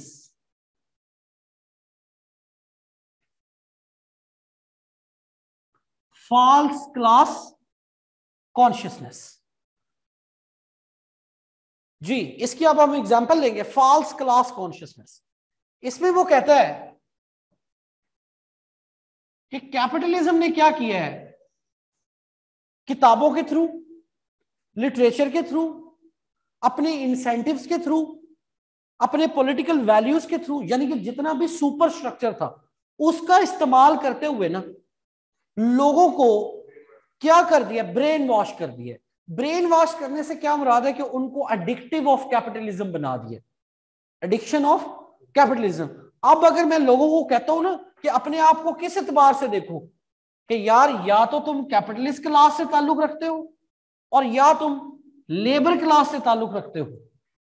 तो लोग कहते हैं, नहीं, हम कौन है? हम एम्प्लॉयर हैं और एम्प्लॉय है. मॉडर्न टर्म्स यूज़ करना शुरू कर दी ना। ठीक है? क्योंकि जो क्लास है, वो तो बेस करती है फोर्स की बुनियाद पर कोहर्जन की बुनियाद पर। और जो एम्प्लॉयर और एम्प्लॉय होता है, वो कोहर्जन की बुनियाद पर नहीं होता, वो तो कॉन्सेंट की बुनियाद पर होता है। तो इसीलिए ये कह रहा है कि जो डेमोक्रेसी है लिबरलिज्म है या कैपिटलिज्म है, उसने लोगों को क्या किया है? एक एक एक नई, एक नया धोखा दिया है। कौन सा धोखा? कि जनाब, आप सारे लोग अब जो भी कर रहे हो ना, ये बेसिकली कॉन्सेंट बेस्ड है। हालाँकि ये कॉन्सेंट नहीं है, ये फोर्स है। आपको सिर्फ़ शेप ऐसे कर दिया गया। ठीक है? और जो सैलरी है, वो भी आपको इतनी, वो कहता है सैलरी अगर, दूसरी बात यहाँ पर और ऐड कर ले। दूसरा फैक्टर फॉल्स कॉन्शियसनेस का। हाई सैलरी वो कहता है ये आपको भूल जाए। कि कभी आपकी सैलरी बढ़नी है। पता है कब बढ़ेगी? जब एवरेज प्रॉफिट्स बढ़ना शुरू हो जाए। यानी कि अगर आपके मालिक का जो एवरेज प्रॉफिट है वो चार हज़ार से आठ हज़ार हुआ है तो फिर जाके आपका जो एक रुपया है वो सवा रुपए के अंदर क्या होगा? कन्वर्ट होगा। यानी कि जो लेबर है, उसकी वैल्यू, लेबर की जो वैल्यू है, जो वो अपने मालिक को कमा के दे रही है, अगर वो बेचारा हज़ार गुना काम करेगा अच्छा यानी कि ज़्यादा पैसा कमा के देगा, फिर उसका 10 परसेंट, बीस परसेंट उसको सैलरी इंक्रीज की सूरत में इंसेंटिव की सूरत में उसको क्या होना है? मिलने मिलना क्लियर हो गया जी? उसके बाद नंबर थ्री नंबर थ्री पे वो ये कहता है कि ये जो एक टर्म यूज़ होती है ना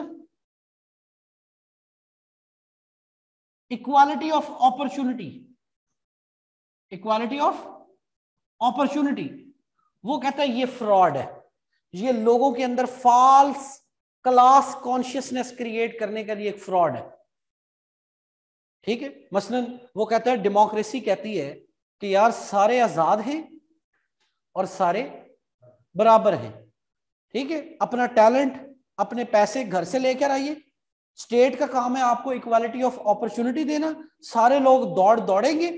जो आगे निकल गया, वो आगे जाएगा। जो पीछे रह गया, वो पीछे रहे। किसी को किसी पे कोई इतराज नहीं होगा। तो लेनन ने बड़ा एक सिंपल और बड़ा ब्रिलियंट क्वेश्चन रेज किया है। वो कहता है कि जब एक बच्चा ज़ीरो साल का है ना उससे लेके जब वो 25 साल तक होता है तो जब ये 25 साल की उसकी जो नरिशमेंट है वही अनईक्वल फुटिंग्स पे हुई है। हेल्थ वाइज एजुकेशन वाइज ठीक है रिसोर्सेज वाइज ठीक है आ, उसकी उसकी जितनी भी यानी कि लाइफ की कंडीशंस है वो कहते हैं उसके अंदर तो क्या है? इनइक्वालिटी है तो उसके बाद वो कहता है कि ये जो इक्वालिटी ऑफ़ अपॉर्चुनिटी है, ये क्या है? ये एक दीवाने का ख्वाब है। कैपिटलिस्ट रिजीम का प्रोपोगेंडा है, ठीक है? और जो लोग हैं, उनको इनकलाब से दूर करने की क्या है? कोशिश है, साजिश है। क्लियर होगी बात? पांचवी चीज़। जी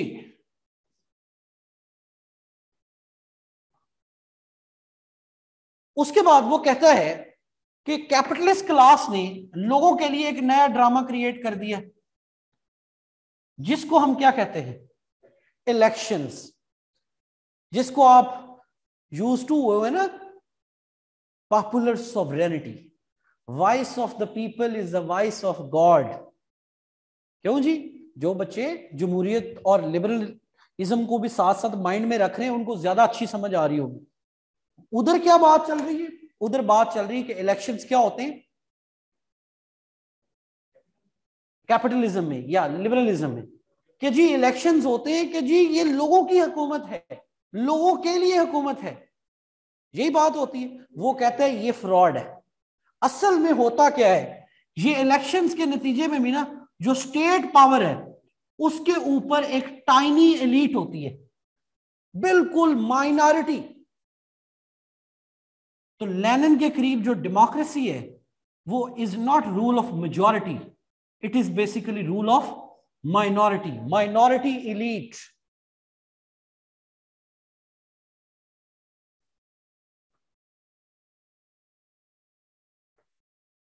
जी, बिल्कुल।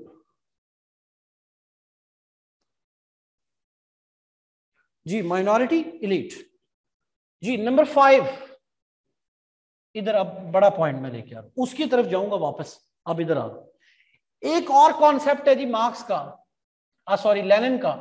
ट्रेड यूनियनिज्म ट्रेड यूनियनिज्म ये हो गई एलीट क्लास ये हो गई आपकी प्रोलिटेरियत या लोअर क्लास वो कहता है कि कैपिटलिस्ट इकोनॉमी ने ना एक बड़ी गेम डाल दी है। उसने लेबर राइट्स के नाम पर ना, कौन से राइट्स पर? Labour laws, labour rights, wage rights, उसके नाम पर एक इदारा क्रिएट कर लिया यहाँ पर, सेंटर में। जिसका नाम क्या है? Trade union. सबसे ज़्यादा तनकीद वो ट्रेड यूनियन के ऊपर करता है। सबसे ज़्यादा तनकीद कि ये इनकलाब के रस्ते में सबसे बड़ी रुकावट कौन है? ये है।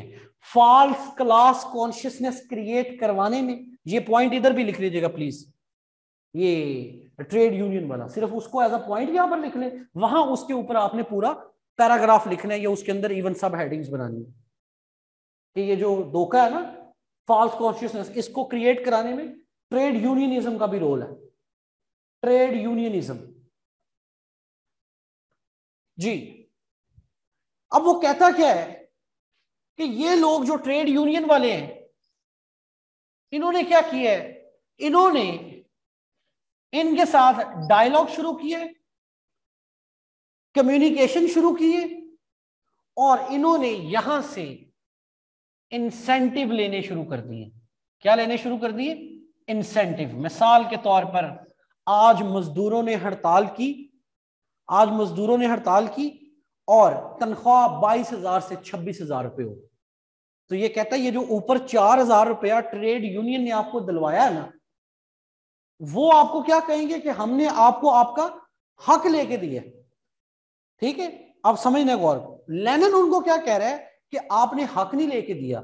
आपने उनका जो पूरे का पूरा इनकलाब का रास्ता था एक्सप्लाइटेशन जिस बुनियाद पर हो रही है उसको आपने सिर्फ़ चार हज़ार रुपए की खातर क्या कर लिया निगोशिएट कर लिया और आपने वो इस सिलसिला उसको क्या रहने दिए? कायम रहने दिए। उसको क्या रहने दिए? कायम रहने दिए। इसी वजह से ये ट्रेड यूनियनिज्म जो है, उसके सख्त खिलाफ है और उनको एंटी रेवोल्यूशनरी समझता है और उनको समझता है कि ये जो है इरिटेंट है, ठीक है, बहुत बड़ा ब्लॉकेड है in the way of revolution done होगी बात? अच्छा जी, उसके बाद एक और कॉन्सेप्ट है इसका। ये बेसिकली ट्रेड यूनियनिज्म के साथ ही जुड़ा हुआ है। इनका ना, एक तबका बना था जी, एक स्कूल ऑफ़ थॉट है। इनको हम कहते हैं रिवियनिस्ट और इनका दूसरा नाम है इकोनॉमिस्ट कौन है जी? इसमें आप लिख लीजिएगा लेनिन व्यूज़ ऑन रिविजनिज्म या revisionist and economist revisionist and economist अच्छा अब ना वापस आ जाए जरा लेनिन के ऊपर। लेनिन जो है ना, वो उसकी एक बात जेन में रख लें। वो कहता है विदाउट रेवोल्यूशनरी थेरी ये कोटेशन लिख लें। Without revolutionary theory there is no revolutionary struggle इसी वजह से हम लेनिन को कहते हैं, ये वो फिलोसफर है जिसने थेरी को और एक्शन को क्या किया है? कंबाइन किया है। सिर्फ़ ये नहीं है कि आपने डेली बेसिस के ऊपर इक्वालिटी इक्वालिटी इक्वालिटी ये बोलना है आपने। या आपने कॉन्स्टिट्यूशन के अंदर लिख के रख देने या आपने उसके लिए कोई नारे लगाने हैं, कोई इनकलाब लेके आने बल्कि आपने क्या करना है? आपने जो थेरी डिज़ाइन करनी है, आपने उसको किसके अंदर कन्वर्ट करना है? एक्शन के अंदर कन्वर्ट करना है। समझ आ रही बात की? अब जरा गौर से सुनने, मार्क्स इसकी जो पॉलिटिकल इकोनॉमी है, कौन सी? पॉलिटिकल इकोनॉमी उसको भी जरा गौर से सुनिएगा। अल्टीमेटली लेनिन ने क्या हासिल करना है? मुआशी इनकलाब।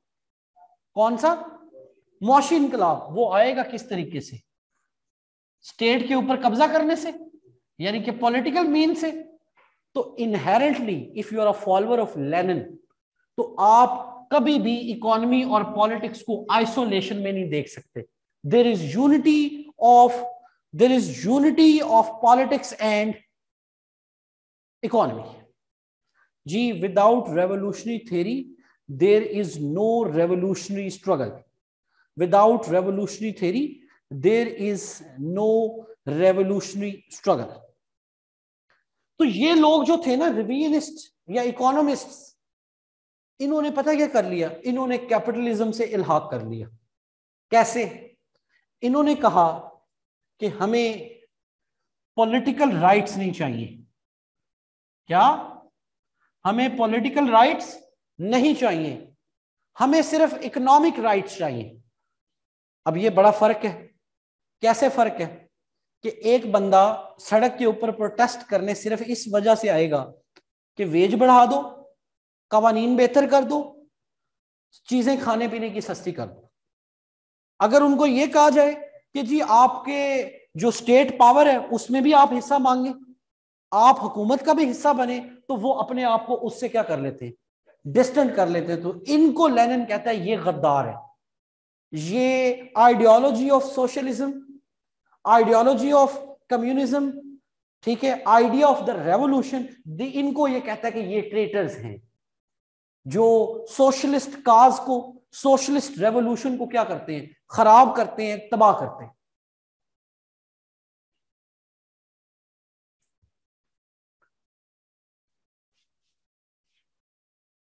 जी। नंबर सेवन इसकी एक थेरी है theory of imperialism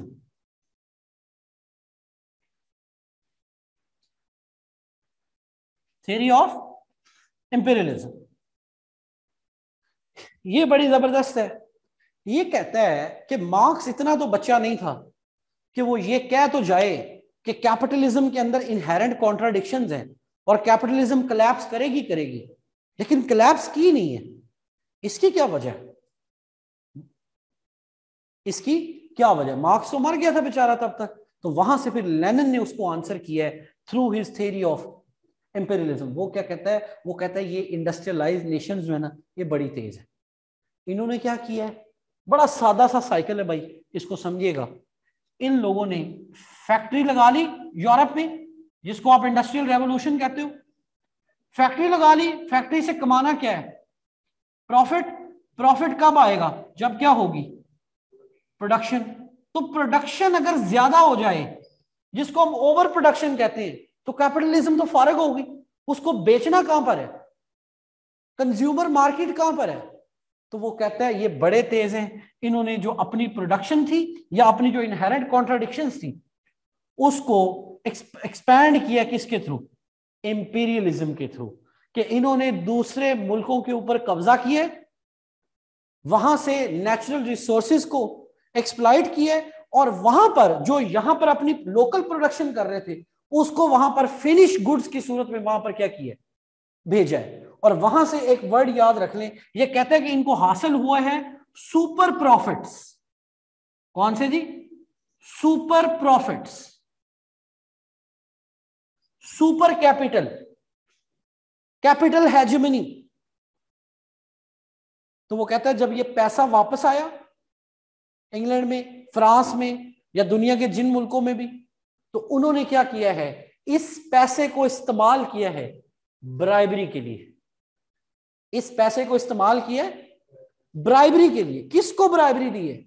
मिसाल के तौर पर, ट्रेड यूनियनिज्म।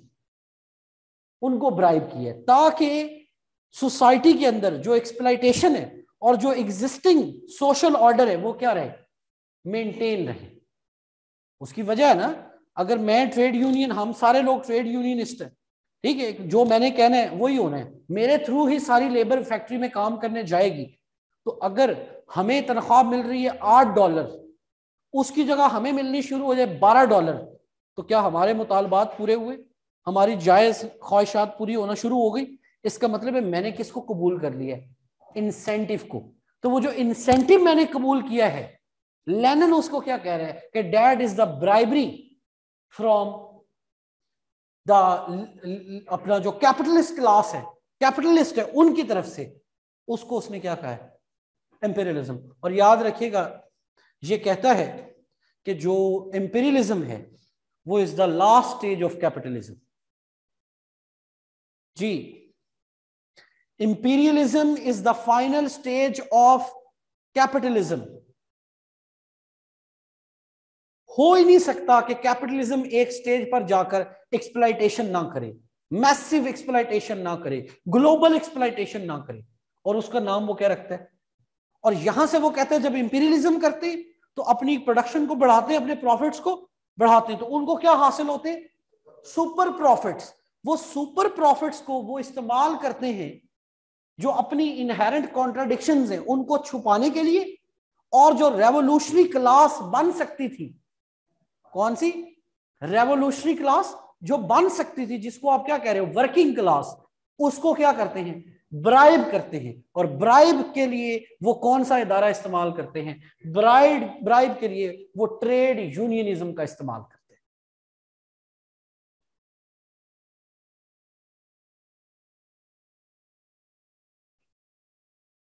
जी, यहाँ तक कुछ समझ आ रही है? कुछ पल्ले पड़ रहा है? जी, बिल्कुल बिल्कुल बिल्कुल। जी, यहाँ तक क्लियर है?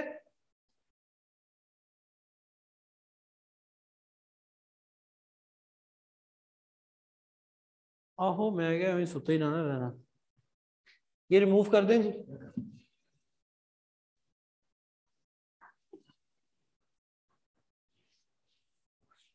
अब अगर आपने मार्क्स पढ़ा हुआ है, समझ आ रहा है तो फिर ये मेरा ख्याल है आगे उसकी आपको यही लगता है कि ये उसकी कॉन्टिन्यूटी है।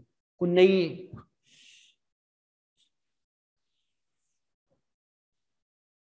जी रिवीनिस्ट ये रिवीनिस्ट कौन है जी? जिन्होंने मार्क्स को सोशलिस्ट थ्योरी को रिवीजन करके उन्होंने एक नया एंगल निकाला कि हमें इकोनॉमिक राइट्स की तो बात करनी चाहिए पॉलिटिकल राइट्स की बात नहीं करनी चाहिए। तो अभी डिस्कस करेंगे कि ऐसा इतना खतरनाक क्यों होता है? कि अगर आप इकोनॉमी का पार्ट हो और पॉलिटिक्स का पार्ट ना हो कॉमन सेंस है वैसे। क्योंकि जो असल पावर है, वो कौन से कॉरिडोर्स में? वो तो पॉलिटिकल कॉरिडोर्स में ठीक है ना? Power corridors or political corridors तो जब आपने अपने आप को पावर की रेस से निकाल लिया तो इसका मतलब है आप लेनिन की किसी रेवोल्यूशनरी स्कीम का तो हिस्सा नहीं है फिर। तो जब आप उसकी रेवोल्यूशनरी स्कीम का हिस्सा नहीं है तो उसके करीब फिर आप फारिग हैं, आप यूजलेस जी डन हो गए। अच्छा जी, अब अगली बात कर लेते हैं कि ये दोनों क्लासेस जो हैं, वो कहते हैं कि एनी हाउ इनकी जो स्ट्रगल है, वो जारी है और जो कैपिटलिस्ट हैं, वो जीत रहे हैं, क्योंकि उन्होंने मुख्तलिफ़ इंसेंटिव निकाल लिए, उन्होंने फॉल्स कॉन्शियसनेस क्या कर दिए? क्रिएट कर दिए। लोग जो है वो कैपिटलिज्म से नफरत करने की बजाय they have become the addictive of capitalism और कैपिटलिज्म ने बड़े खूबसूरत आइडियाज़ को साथ साथ मिक्स कर दिया मसलन आज़ादी, बराबरी ह्यूमन राइट्स फ्री विल वो जितना भी स्ट्रक्चर आप लोग पहले पढ़ते हैं ना लिबरलिज्म में डेमोक्रेसी में, वो सारे का सारा स्ट्रक्चर जो है, उसको ये कह रहा है कि सबने कैपिटलिज्म को इस मुस्तकम किए और जो काज ऑफ़ रेवोल्यूशन या सोशलिज्म है, उसको क्या किया? उसको डिक्रीज किया। तो ये इसी तरह ये सिलसिला जो है, ये दोनों के दरमियान जो टसल है स्ट्रगल है, वो क्या कर रहा है? चल रहा है। वो कह रहा है, अब प्रॉब्लम है एक। प्रॉब्लम ये कि ये जो लोग हैं ना, जिनका नाम क्या है? जी लेबर क्लास प्रोलिटेरियत यहाँ पर है जी, सबसे एक बड़ा इख्तलाफ इसका मार्क्स के साथ, क्योंकि मार्क्स कहता था कि ये जो लोग हैं ना, ये बेचारे इतने को सप्रेस हो जाएँगे कि इनके अंदर खुद ही एक क्लास कॉन्शियसनेस क्या हो जाएगी? बल्कि एक वर्ड यूज़ कर ले spontaneous creation of class struggle या spontaneous creation of revolutionary struggle, वो क्रिएट हो जाएगी। लेनन ने कहा भाईजान ये स्पॉन्टेनियसली कोई नहीं क्रिएट होनी। लोग तो सारे कैपिटलिज्म के पीछे लग गए लोग किसके पीछे लग रहे हैं? कैपिटलिज्म के पीछे लग गए तो अब क्या करना पड़ेगा? जी, और दूसरा उसने कहा, जी, हमारा जो कम्युनिस्ट तबका है, उसके अंदर बड़े लोग हैं, जो लिबरल है। ठीक है? वो उनका पता ही नहीं चलता। वो प्राइवेट प्रॉपर्टी को अस्पायर करते हैं, अपनी इंजॉय भी करते हैं और इधर आके शाम को इनकलाबियत जो है, वो भी कर लेते हैं। तो इन सब चीज़ों से बचने के लिए उसने कहा कि ये जो लेबर या प्रोलिटेरियत क्लास है ना, अगर आप इनसे ये तो रखते हो ना कि इनको रेवोल्यूशन लेके आने हैं तो सबसे पहले क्या करना पड़ेगा? सबसे पहले इनके अंदर जो रियल क्लास कॉन्शियसनेस है, वो क्या करनी पड़ेगी? क्रिएट करनी पड़ेगी। अगर आप में से कोई बच्चा बहुत अच्छी तरह जाग रहा है और समझ रहा है तो याद होगा मैंने बिल्कुल स्टार्ट पे एक बात की थी बेस और सुपर स्ट्रक्चर की। ये है वो पॉइंट कि अब ये क्या कह रहे हैं कि लोगों के दिमाग को पहले क्या करो? चेंज करो। तो द, और एंड पे उनसे करवाना क्या है? मुआशी इनकलाब लेके आने चेंज करवाना सिस्टम को। इसका मतलब है ये सुपर स्ट्रक्चर के थ्रू बेस को चेंज करवाना चाह रहे हैं। ये क्या करवाना चाह रहे हैं? सुपर स्ट्रक्चर चेंज करके तो लोगों को बेस से दूर करना चाह रहे समझ आ रही ना बात की? अब क्लास कॉन्शियसनेस की डेफिनेशन लिख लें। जी क्लास कॉन्शियसनेस की डेफिनेशन लिख लें। Your perception about your perception about how you are related to your perception about how you are related to the mode of production the mode of production.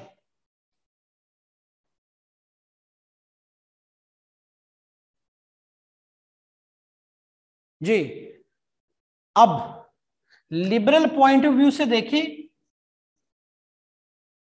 तो बंदा कहता है कि मैं कौन हूँ? एम्प्लॉय हूँ। और दूसरा बंदा कौन है? मेरा एम्प्लॉयर है। और हम दोनों ने जो फैसला किया हुआ वो किस बुनियाद पे किया हुआ है? अपनी मर्ज़ी से, अपनी कॉन्सेंट से। अगर हम इसको लेनिस्ट परस्पेक्टिव से देख रहे हैं तो लेनिन क्या कह रहा है? कि ये सारा क्या है? फॉल्स कॉन्शियसनेस है। और ओरिजिनल कॉन्शियसनेस क्या है? कि ये एक क्लास का नाम है हैव्स दूसरे का नाम क्या है? हैव नॉट्स और ये हैव्स क्या कर रहे हैं? हैव नॉट्स को यूज़ कर रहे हैं एक्सप्लाइट कर रहे हैं अपने प्राइवेट प्रॉफिट के लिए। इन लोगों की जो लेबर है, उन लोगों की लेबर उसको अपने प्राइवेट बेनिफिट के अंदर क्या कर रहे हैं?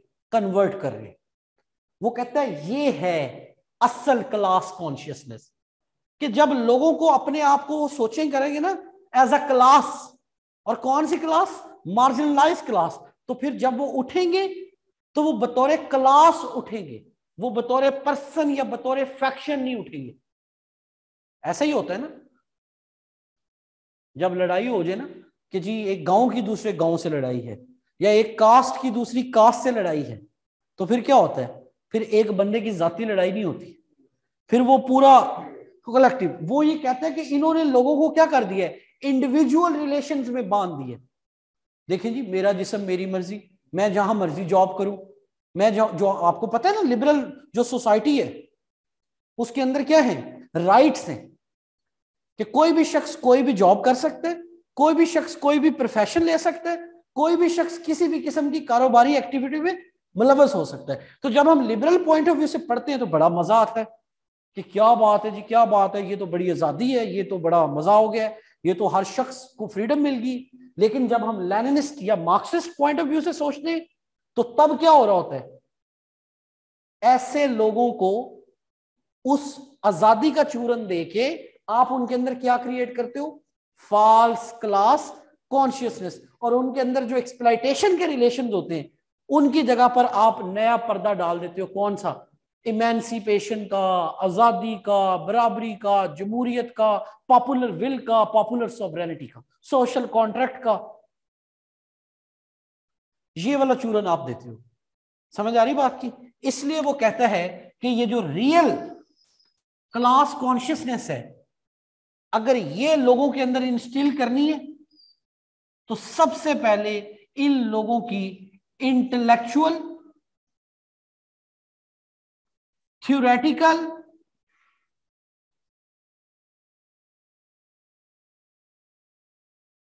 जो ट्रेनिंग है वो करवानी पड़ेगी।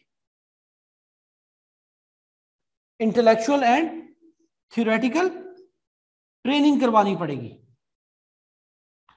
ताकि कुछ फिलोसफर्स हो, कुछ थिंकर्स हो कुछ इंटेलिजेंसिया हो, कोई इंटेलेक्चुअल क्लास हो, जो क्या कर सके? इन विचारों को गाइड कर सके, इनको प्रोटेक्ट कर सके बॉर्जुआ कॉन्स्पेरेसिस से। बॉर्जुआ जो इनको चूरन देता है ना, जो कैपिटलिस्ट क्लास इनको चूरन बांटती है तो ये जो इंटेलेक्चुअल ट्रेनिंग है, ये इनको हेल्प करेगी, ये पहचानने में कि हमने क्या करना है और क्या नहीं करना। कौन सा चूरन कबूल करना है और कौन सा चूरन हमने कबूल नहीं करना। तो ये जो इंटेलेक्चुअल या थ्रेटिकल ट्रेनिंग है, ये करवाने के लिए, क्या करने के लिए? ये करवाने के लिए, जिस पॉइंट के ऊपर मैं आना चाह रहा था, वो पॉइंट ये है कि आपको चाहिए एक वैन गार्ड पार्टी और यहाँ से इख्तलाफ है मार्क्स का और लेनिन का, क्योंकि मार्क्स ने किसी भी किस्म की ऐसी तंजीमी ढांचे की तशरी नहीं की कि एक पार्टी बनाएँगे, फिर उस पार्टी के अंदर ये होगा, वो होगा, ये उसकी ऑर्गेनाइजेशन होगी, ये उसकी मैनेजमेंट होगी और कोई नहीं होगा। लेनिन ने क्या कहा है? लेनिन ने कहा है कि जो रेवोल्यूशन है, क्लास स्ट्रगल, ये जारी रहेगा और इसको जारी रहने के लिए, इसको प्रोटेक्ट करने के लिए हमें किसकी ज़रूरत है? एक वैन गार्ड पार्टी की। क्या कर, किस पार्टी की? ये तीन फ़ंक्शंस परफॉर्म करेगी, ये party number one theoretical theory के रिलेटेड नंबर टू इकोनॉमिक और number three political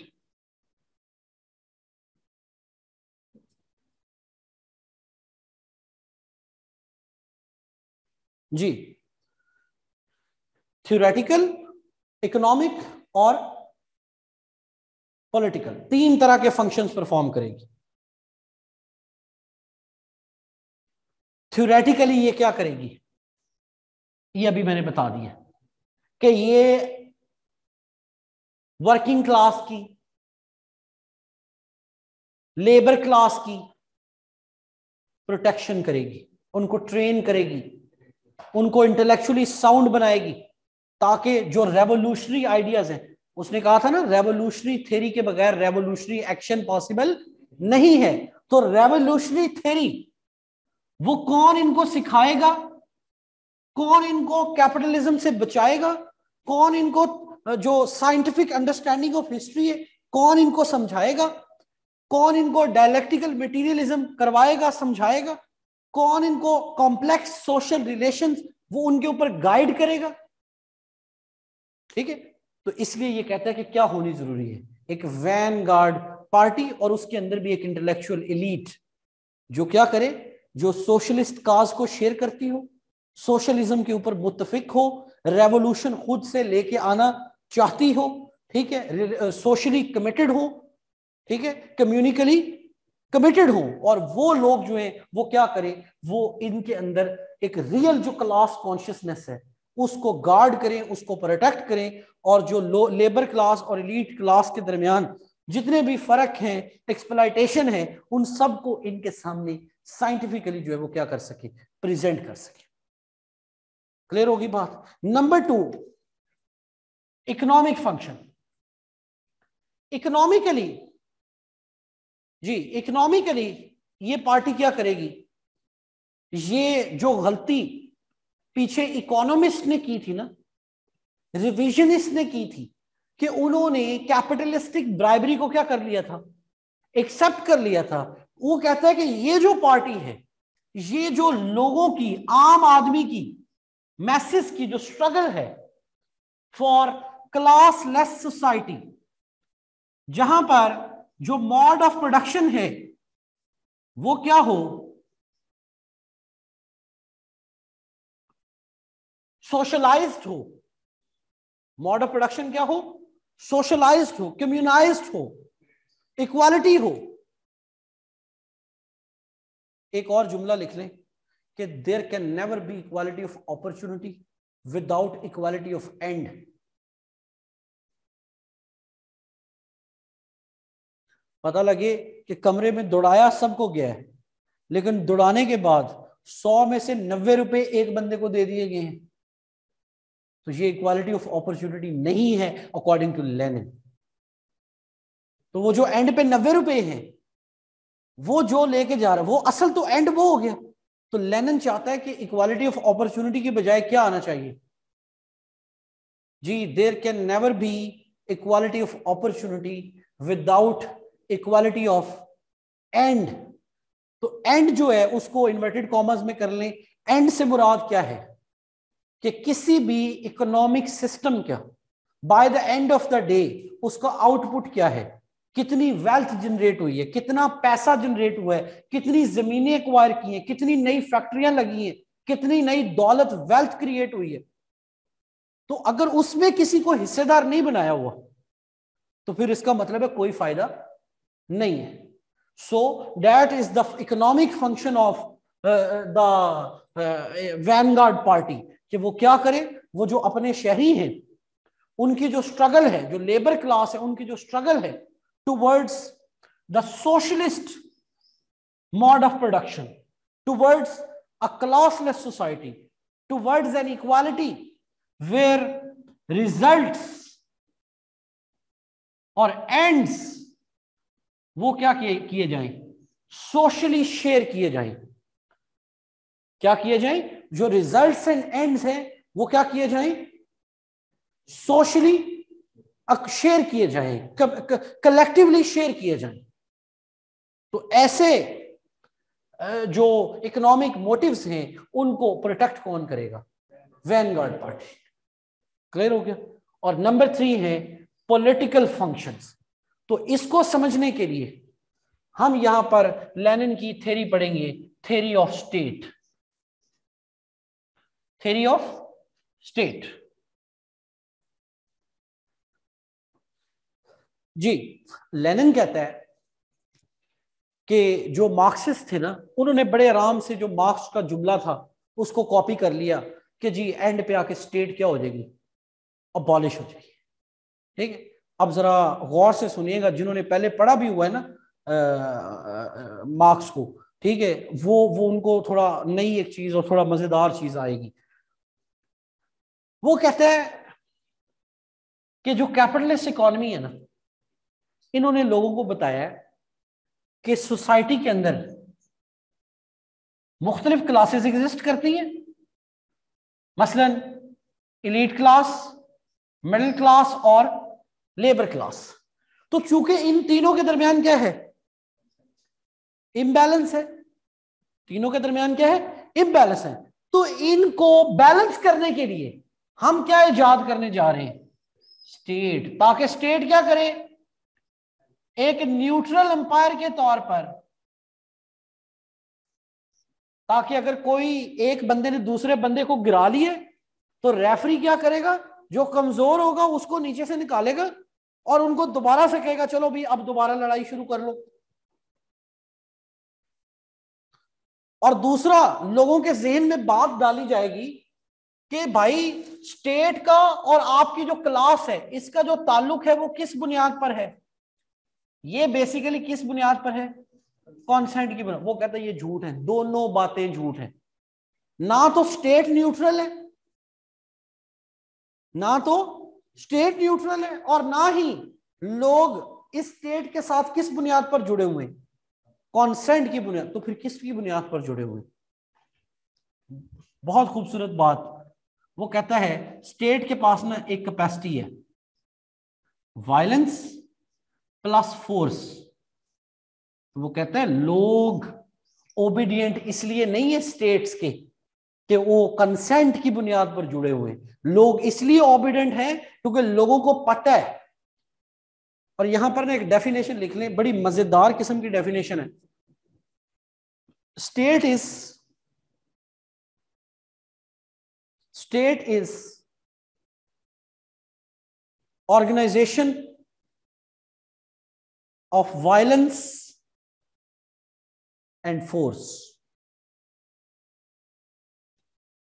state is the organization of violence and force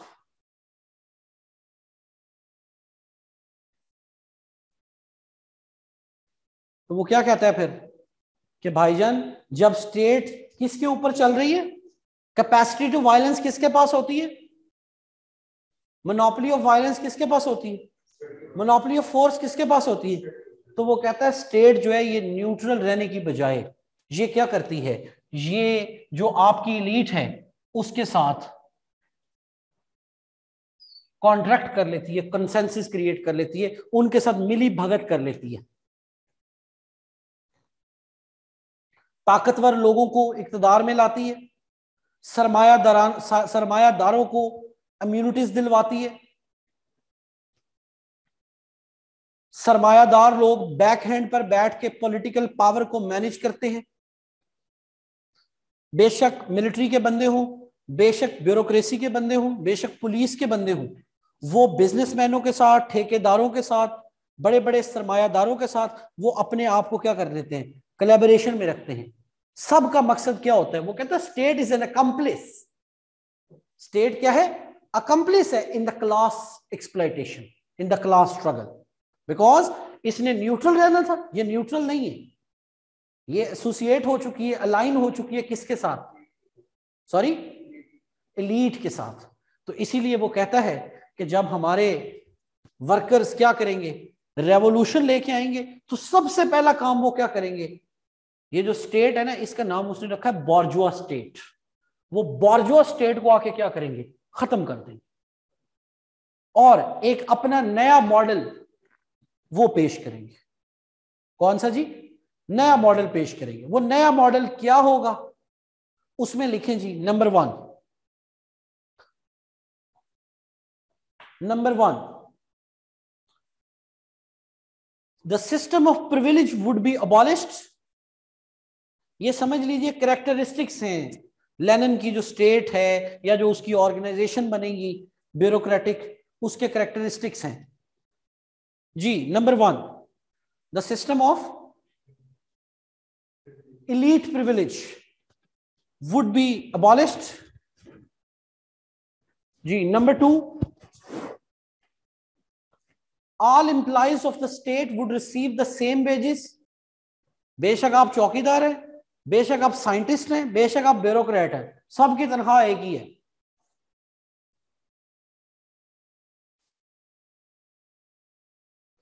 All jobs would be open for all citizen all jobs would be open for all citizens. Number 4 या 5 4 there would be no careerism careerism के पीछे competition होता है ना। जहाँ competition होता है, वहाँ फिर बंदा एक्सप्लाइटेशन की तरफ़ भी उसको जाना पड़े तो फ़र्क नहीं पड़ता। There would be no careerism bureaucrats would be subject to public scrutiny public selection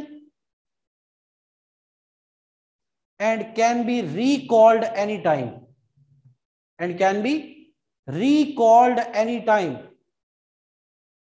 can be recalled anytime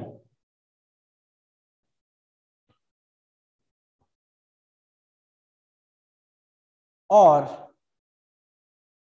अब आ रही है जी सबसे बेहतरीन चीज़ ये इसी जो वैनगार्ड पार्टी है इसकी इंपॉर्टेंस आपको समझ आएगी इस वैनगार्ड पार्टी ने ना इस सारे माहौल में क्या प्रोवाइड करनी है? सेंट्रलिज्म क्या प्रोवाइड करनी है? सेंट्रलिज्म तो स्टेट भी सेंट्रलिज्म का नाम ही है ना, कि पॉलिटिकल पावर को टॉप पर क्या कर लिया जाता है? यूनिफाई कर लिया जाता है। लेकिन ये कहता है कि यहाँ पर जो सेंट्रलिज्म थी, वो बेस करती थी फोर्स की बुनियाद पर। वो बेस करती थी वायलेंस की बुनियाद पर। लेकिन जो मेरे वाली हमारी सेंट्रलिज्म होगी, इसका नाम वो रखता है डेमोक्रेटिक सेंट्रलिज्म जिन्होंने चाइना का वो पढ़ा हुआ है कॉन्स्टिट्यूशन या रशिया का, उनको पता है कि जो डेमोक्रेटिक सेंट्रलिज्म है, वो क्या है? एक one of the salient features है ऑफ़ द चाइनीज़ और रशियन कॉन्स्टिट्यूशन अब ये जो डेमोक्रेटिक सेंट्रलिज्म है, इसमें वो कहता है कि यहाँ पर जो लोग इकट्ठे रह रहे होंगे ना सवाल कर सकते हैं ना आप कि जी, लोग तो यहाँ पर भी इकट्ठे रह रहे हैं और यहाँ पर भी इकट्ठे रह रहे हैं तो फ़र्क क्या हुआ फिर? फ़र्क क्या है? फ़र्क ये है कि यहाँ पर लोग किस बुनियाद पर इकट्ठे रह रहे हैं? यहाँ पर यह कहता है कि लोग इकट्ठे रहेंगे वॉलेंटेरिज्म की बुनियाद पर। लोग वॉलेंटरली कॉपरेशन करेंगे। वॉलेंट्री कॉपरेशन लोग खुद ब खुद अपने अंदर से सोशो कम्युनिस्ट जो टेंडेंसीज हैं इज्तमाहीत कलेक्टिविज्म उसका इजहार करेंगे और वॉलंटरी कॉपरेशन करेंगे।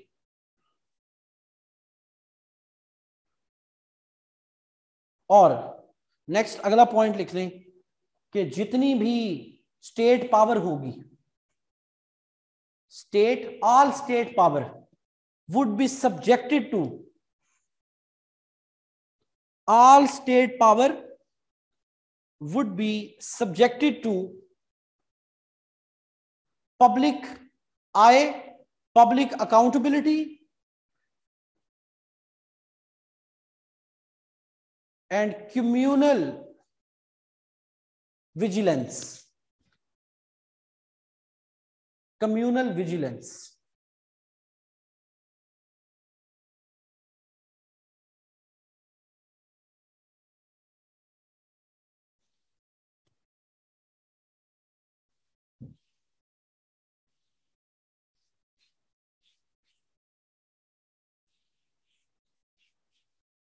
जी। जी। अब एक बड़ी मज़ेदार बात है। वो कहता है कि पहले जो स्टेट थी ना, उसने पता क्या किया हुआ था? वो सपोर्ट करती थी किसको? कैपिटलिस्ट को। कैपिटलिस्ट ने सारा स्टेट की सपोर्ट हासिल करके करना क्या by the end of the day production करनी है। और प्रोडक्शन करके किसको बढ़ाना है? अपने प्रॉफिट्स को। समझ आ रही बात? स्टेट की मदद हासिल करके कैपिटलिस्ट ने क्या करना है? प्रोडक्शन और प्रोडक्शन करके क्या बढ़ाना प्रॉफिट्स बढ़ाने हैं। तो इसलिए ये कहता है कि जो स्टेट थी ना, वो जानबूझकर सिस्टमैटिकली इस तरह की कंडीशंस क्रिएट करती थी, जिसके अंदर ज़्यादा से ज़्यादा प्रोडक्शन क्या हो सके? पॉसिबल हो सके। हमें बताया जाता है ना आजकल के जमाने में भी कि स्टेट इसलिए एग्जिस्ट करती है कि आप सबकी जान का तहफुज कर सके। स्टेट इसलिए एग्जिस्ट करती है कि आप सबको रोज़गार दे सके। स्टेट इसलिए एग्जिस्ट करती है कि आपको राइट्स दे सके। ये लिखा हुआ ना हमारे पाकिस्तान के अंदर भी और दुनिया की हर जमहूरियत में। लेकिन वो कहता है कि असल में स्टेट जो लॉ एंड ऑर्डर क्रिएट करती है, वो उसको इतना दर्द दिल नहीं होता कि वो आम आदमी की ज़िंदगी के लिए करती है। वो इसलिए करती है क्योंकि लॉ एंड ऑर्डर नहीं होगा तो फैक्ट्री कैसे चलेगी? प्रोडक्शन कैसे होगी? बात फॉलो कर रहे अच्छा राइट टू प्रॉपर्टी दे के याद है लॉक तो वो क्या देते हैं आपको? Right to private property. वो कहते हैं, आपने लोगों को चूरन दे दिया कि हम आपके पैसे और जायदाद के क्या हैं? मुहाफिज हैं। उसने कहा, अल्लाह के बंदो प्राइवेट प्रॉपर्टी के चक्कर में आपने क्या कर दिया है? दस परसेंट लोगों को मुआशरे के नब्बे परसेंट वसाइल का आपने क्या बना दिया? मालिक बना दिए और पिछले वाले जो दस परसेंट रिसोर्सेज हैं, वो कितने लोग, परसेंट लोगों के पास हैं? नब्बे परसेंट लोगों के पास है और उनको आपने क्या चूरन दिया हुआ है? राइट टू प्राइवेट प्रॉपर्टी तो उसने कहा आम आदमी के पास है क्या जिसका उसका तहफुज करने? पा, पाँच मरले का घर दो मरले का घर पच्चीस हज़ार तनख्वाह छोटी छोटी जरूरतें जूता कपड़ा मकान। तो राइट टू प्राइवेट प्रॉपर्टी का असल फ़ायदा गरीब आदमी को नहीं हो रहा। असल फ़ायदा किसको हो रहा है? कैपिटलिस्ट को हो रहा है क्योंकि उसकी ज़्यादा से ज़्यादा वेल्थ क्या है? बढ़ती जा रही है और वो तहफुज है उसका किस नाम पे? राइट टू प्राइवेट प्रॉपर्टी की बुनियाद पर। समझ आ रही बात की? उसके बाद स्टेट क्या करती है? सोसाइटी में इस तरह के सोशल आइडियाज़ प्रमोट करती है। मसलन tolerance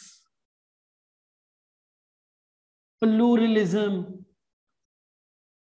coexistence difference of opinion right of criticism कितने खूबसूरत ये आपको राइट्स नज़र आते हैं इन अ डेमोक्रेटिक कंट्री और इन अ डेमोक्रेटिक स्टेट है ना?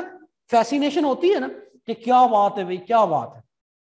तो वो कहता है बेसिकली ये जितने भी सोशल आइडियाज़ है ना, जो स्टेट प्रोमलगेट करती है, ये इसलिए नहीं है कि आम आदमी का फ़ायदा हो सके। ये सोशल आइडियाज़ ज़रूरी हैं किसको करवाने के लिए? प्रोडक्शन करवाने के लिए। क्यों? क्यों? क्योंकि अकॉर्डिंग टू लेनिन हम तो सोसाइटी में किसकी तबलीग कर रहे हैं? रेवोल्यूशन की।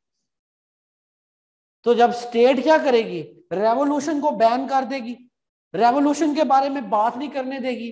रेवोल्यूशनिस्ट पार्टीज़ को मौका नहीं देगी। उनको बदनाम करेगी और उसके अल्टरनेटिवली जो डिफरेंट अदर सोशल आइडियाज़ हैं, वो बर्दाश्त के नाम पर प्लूरलिज्म के नाम पर टॉलरेंस के नाम पर, वो क्या करेगी? जो क्लास गैप है, जो क्लास एक्सप्लाइटेशन है, उसको लिजिटिमाइज कर देगी। वो प्रलोंग होता रहेगा प्रलोंग होता रहेगा प्रलोंग होता रहेगा। और एक वक्त आएगा कि लोग समझना शुरू कर देंगे। वो जिस तरह मार्क्स कहता है ना religion is the opium of the people तो लोग समझना शुरू कर देंगे, ये जो भी नॉर्मल ऑर्डर है ना ज़िंदगी में, जो भी आजकल चल रहा है, ये अल्लाह की तरफ़ से डेस्टेंड ही ऐसे था। ये क्या था? मतलब ये सारा कुछ बना ही ऐसे था। यानी कि आपको इन शॉर्ट कैपिटलिज्म आपको क्या लगना शुरू हो जाएगी? नॉर्मल वर्ल्ड रेगुलर वर्ल्ड कि अच्छा इसके अलावा भी कुछ होता है? इतना यूज़ टू आप हो जाते हो। और उसमें वो कहता है कि ज़्यादा जो अकम्पलिस है वो कौन है? स्टेट तो अब वो क्या कह रहे हैं? कि चूँकि अब हमारी स्टेट बन चुकी है, हमारे से मुराद वर्कर्स की। तो अब ये स्टेट में जो पावर है, वो किसी एक पर्सन के पास या एक गवर्नमेंट के पास नहीं है, बल्कि किसके पास है? सारे लोगों के पास है। और मॉड ऑफ़ प्रोडक्शन की ओनरशिप भी अब किसी एक बंदे के पास नहीं है, बल्कि किसके पास है? पूरी सोसाइटी के पास है। तो इसीलिए वो कह रहा है कि यहाँ पर जो हमारी स्टेट है, वो किसी एलीट जो क्लास है उससे रबता नहीं करेगी, बल्कि पूरे के पूरे जो लोग हैं, वो इकोनॉमिक प्रोडक्टिविटी का क्या होंगे?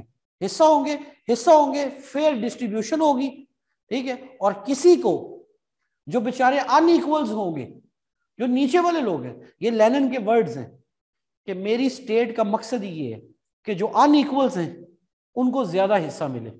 मकसद कहने का कि लोगों को बराबर कराना है ना स्टेट ने। तो फिर वो इस तरह बराबर कराए। ये नहीं है कि जो दो रुपए वाला है, उसको दो रुपए पे बाँध दो और जो सौ वाला है, उसको को हाँ भाई, तू डबल करता जा।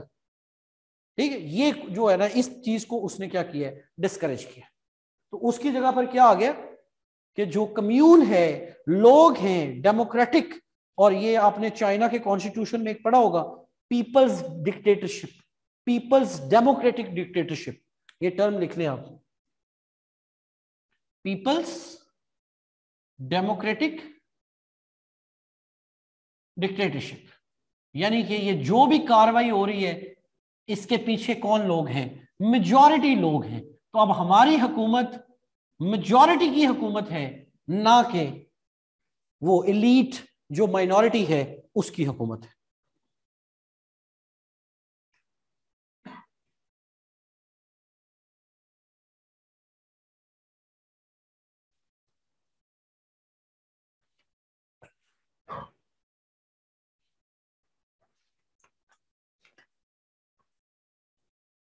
जी। समझ आ रही है बात की? अच्छा जी, अब आगे चलते हैं। जी। स्टेट हमने स्टैब्लिश कर दी, सारा कुछ कर दिया, ठीक है? उसने अपनी जो, वो क्या कहते हैं करने सूरत हाल कि जी आके इक्वालिटी ऑफ़ अपॉर्चुनिटी और सारा कुछ क्या हो गया? एस्टैब्लिश कर दिया, ठीक है? कहने की हद तक वो अपने आप को एंड पे आके क्लेम करता है कि मैं कौन हूँ? मैं एक डेमोक्रेट हूँ। मैं क्या हूँ? एक डेमोक्रेट हूँ, क्योंकि जो हमारी मूवमेंट है, वो अल्टीमेटली किसकी रिप्रेजेंटेटिव है? मेजॉरिटी की रिप्रेजेंटेटिव है। और ये बात जो है ना, ये बड़ी हद तक, जब हम डेमोक्रेसी को एज ए नंबर गेम देखते हैं ना तो वाकई ये बात किसी हद तक हमें क्या मालूम होती है? सही मालूम होती है, बिल्कुल सही है।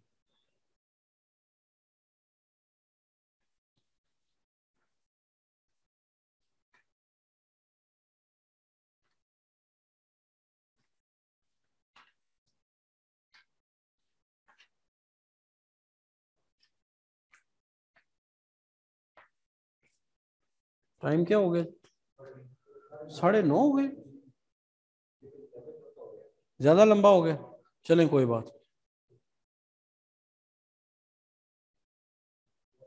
जी, कुछ समझ आ रही है? हाँ जी, आप लोग। ठीक है, चले। जी ऑनलाइन स्टूडेंट्स कोई नहीं, अभी खत्म करते हैं माओ को भी ना। ठीक है, ज़्यादा टाइम नहीं लगेगा।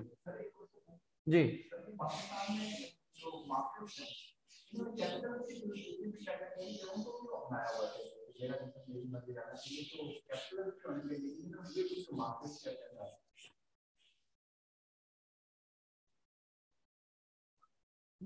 बस फिर इस पे बात करेंगे, ठीक है?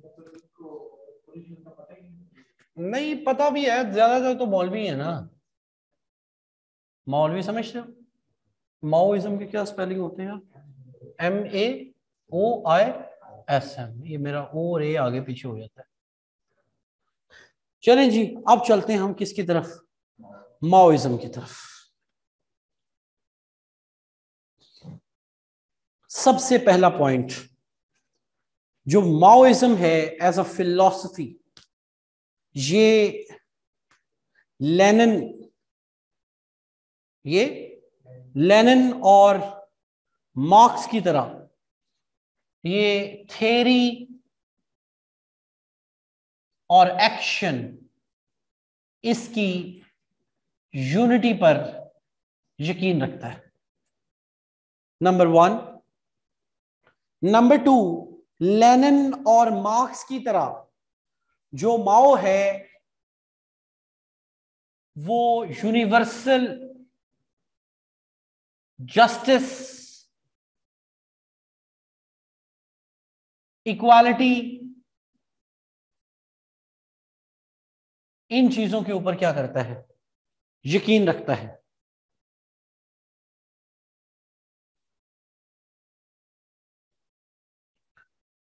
क्लियर हो गया? Number three class struggle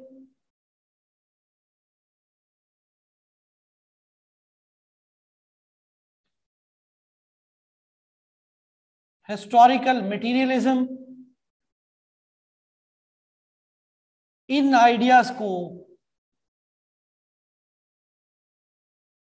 larger canvas में, लार्जर पिक्चर में ये मार्क्स और लेनिन के साथ क्या करता है? शेयर करता है। लेकिन अब जो सोशलिज्म है, वो जर्मनी से ट्रैवल करते करते पहले रशिया आई है और अब ये बात है चाइना की। बिकॉज़ माओ का ताल्लुक कहाँ से है? चाइना से। क्लियर होगी बात? उसके बाद, तीसरी बात, दूसरी बात जिसमें ये लेनिन के साथ एग्री करता है, और वो ये है कि जो रेवोल्यूशन है, उसके बगैर बिल्कुल भी कोई सोल्यूशन नहीं है। रेवोल्यूशन का मतलब क्या है कि जो स्टेट पावर है, कौन सी? स्टेट पावर, उसको आपने क्या करना है? कैप्चर करना है। खत्म करने का मतलब कैप्चर करना है। तो उसके लिए इसकी थ्री फोल्ड स्ट्रेटजी है। कितने फोल्ड जी? Three fold strategy. Number one guerrilla warfare, Lenin ने कहा ना, इनकलाब लाना है। ये कहता है, भाई, ये इसकी कोटेशन लिख लें एक। जी, इसकी कोटेशन लिख लें। नहीं नहीं एक्शन उक्शन की बात नहीं है। जी, ये कहता है कि जो पॉलिटिकल फ्रीडम है ना, वो begins with the barrel of gun ji political freedom जो है, वो बैरल ऑफ़ गन से जन्म लेती है। एनीवेज गोरीला अभी इस पे करेंगे बात। गोरीला वारफेयर जी नंबर टू मैस मोबिलाइजेशन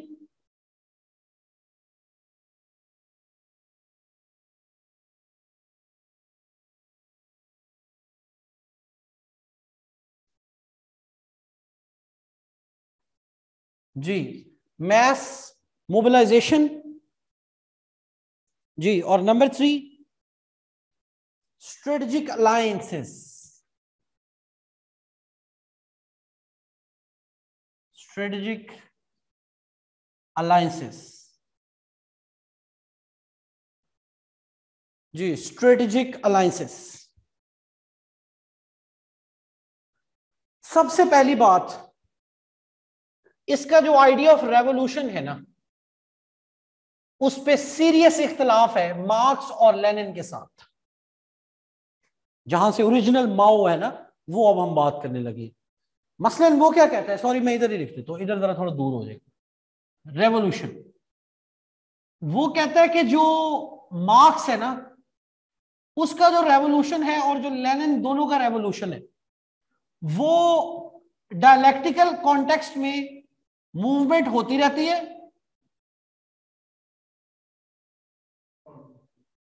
जी स्पॉन्टेनियस मूवमेंट होती रहती है और एक टाइम आता है कि जब वो क्या इख्तियार कर लेता है? फाइनल फॉर्म इख्तियार कर लेता यानी कि जब कोई और डायलेक्ट नहीं रह जाता फाइनल स्टेज अचीव हो जाती है। इसका मतलब है, यहाँ आके रेवोल्यूशन खत्म हो गया। डन क्योंकि क्या क्रिएट होगी? आइडियल सोसाइटी क्रिएट होगी तो फिर तो इनकलाब की ज़रूरत है ही नहीं। इसी तरह जो लेनिन है, उसका भी सारा यही सूरत हाल है कि वो भी इस सब के एंड पे वैनगार्ड पार्टी बना रहा है और उसके जिम्मे लगा के तो वो एंड पे क्या क्रिएट करवा रहा है? एक आइडियल माओ कहता है कि जो रेवोल्यूशन है ना, ये परमानेंट है। ये कॉन्टिन्यूस प्रोसेस है। It will never stop ji permanentness in time and unlimitedness in space ये दो वर्ड्स लिख लें। ये उसके ओरिजिनल वर्ड्स हैं। Permanentness in time and unlimitedness in space और इसके लिए टर्म उसने यूज़ की है। Continuity continuity of revolution continuity of revolution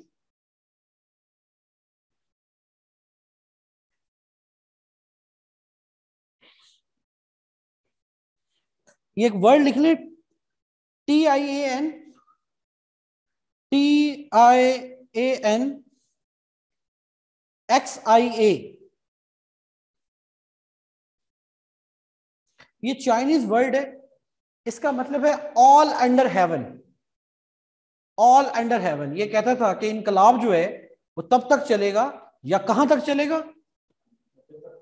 जी, जब तक जो है, वो जो कुछ भी है कायनात में जिधर जिधर भी हम फैले हुए जिधर जिधर भी हम जा रहे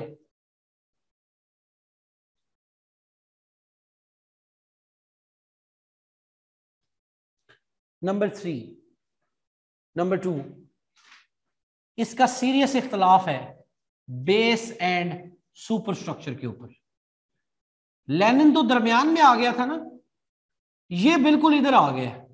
ये कहता है कि असल गेम जो है ना, वो बेस की नहीं है। असल गेम है सुपर स्ट्रक्चर की।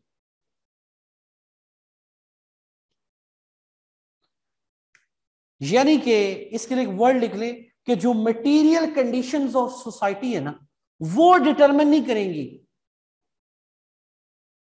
लाइफ को, बल्कि जो आइडियाज़ हैं, जो सुपर स्ट्रक्चर है, जो बिलीव्स हैं, वो डिटरमिन करेंगे किसको जी? सोशल स्ट्रक्चर को और सॉरी इकोनॉमिक स्ट्रक्चर को। नंबर थ्री इसका जो रेवोल्यूशन है, इसका एंड पर्पस किसी नई चीज़ को एक तरह से कंस्ट्रक्ट करना नहीं है। वो बाद की बात है। पहला पर्पस है उसका डिस्ट्रक्शन करना, ताकि जो ओल्ड ऑर्डर है, उसको क्या किया जा सके? डिस्ट्रॉय किया जा सके। उसकी वजह है। ये कहता है कि ये जो रेवोल्यूशन है ना कॉन्टिन्यूटी ऑफ़ रेवोल्यूशन ये क्यों हो रहा है? ये इसलिए हो रहा है क्योंकि जो बॉर्जुआ क्लास है, वो दोबारा भी तो रीएमर्ज हो सकती है ना। हमारे अंदर से भी तो ट्रेटर्स पैदा हो सकते हैं, लोगों के अंदर दोबारा से भी तो सेंटिमेंट जाग सकते इसीलिए revolution after revolution revolution after revolution revolution after revolution जारी रहेगा ये सिलसिला।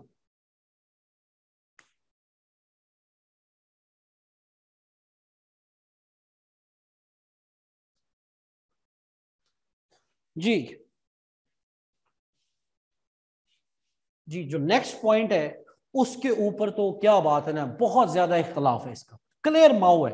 और उस पर यह कहते हैं कि मार्क्स और लेनिन दोनों ने अप्रोच इस्तेमाल की थी सेंटर पेरिफेरी अब ये घबराना नहीं है, ये पहले पढ़ा हुआ है हमने। आप कहें ना कि ये तो मार्क्स और लेनिन ने कहा ही नहीं। उनके कहने का ये मकसद है, और मार्क्स और लेनिन दोनों समझते थे कि जो आपकी है ना वर्किंग क्लास जो शहरों में मशीनों पे फैक्ट्रियों पे काम करती है, वो इनकलाब लेके आएगी। माओ ने कहा, नहीं, ये गलत है। इनकलाब को आना पड़ेगा कंट्री साइड से, गाँव से। तो गाँव में वो कहता है कि ज़्यादा लोग कौन है? पीजेंट्स तो इसने क्या किया है? जो आपकी पीजेंट्री क्लास है उसको कहा है कि ये है सेंट्रल फोर्स ऑफ़ रेवोल्यूशन असल क्लास ये पीजेंट्स ये क्या करेंगे? ये पेरीफेरी से चलेंगे, घेरते हुए आएँगे और एवेंचुअली कहाँ पहुँच जाएँगे? सेंटर में. और सेंटर पे ना सिर्फ़ कब्जा करेंगे, बल्कि सेंटर में इनकलाब ले आएँगे. मार्क्स का और लेनिन का इनकलाब कहाँ से शुरू होता है? अर्बन एरिया से, शहरों से. और आहिस्ता आहिस्ता किधर फैलेगा? गाँव की तरफ़ ये शुरू ही कहाँ से करवा रहा है? और गाँव से कौन सी क्लास है? तो इधर क्या हो गया? प्रोलिटेरियत क्लास रिप्लेस कर दिया उसने किसके साथ? पीजेंट्री क्लास के साथ पीजेंट्स के साथ। और दूसरी बात अर्बन बेस ऑफ़ रेवोल्यूशन की बजाय, वो रूरल बेस ऑफ़ रेवोल्यूशन के ऊपर आ गया और इसकी वजह है, बड़ी खूबसूरत वजह बताता है, वो लिख ले जरा कि ऐसा क्यों होगा? क्योंकि हवा में तो बात नहीं करेगा ना। वो कहते हैं, एक तो ये तादाद में ज़्यादा है, दूसरा पोर है, तीसरा कोरेजियस है, और चौथा, इनकी जो हालत है they are black and bleak jenny तौर पर भी बेचारे ब्लैंक है, कोई पता नहीं है। तो इनको समझाना, इनको गाइड करना, ये आपके पीछे पीछे फॉलोअर ये बनेंगे बड़े अच्छे।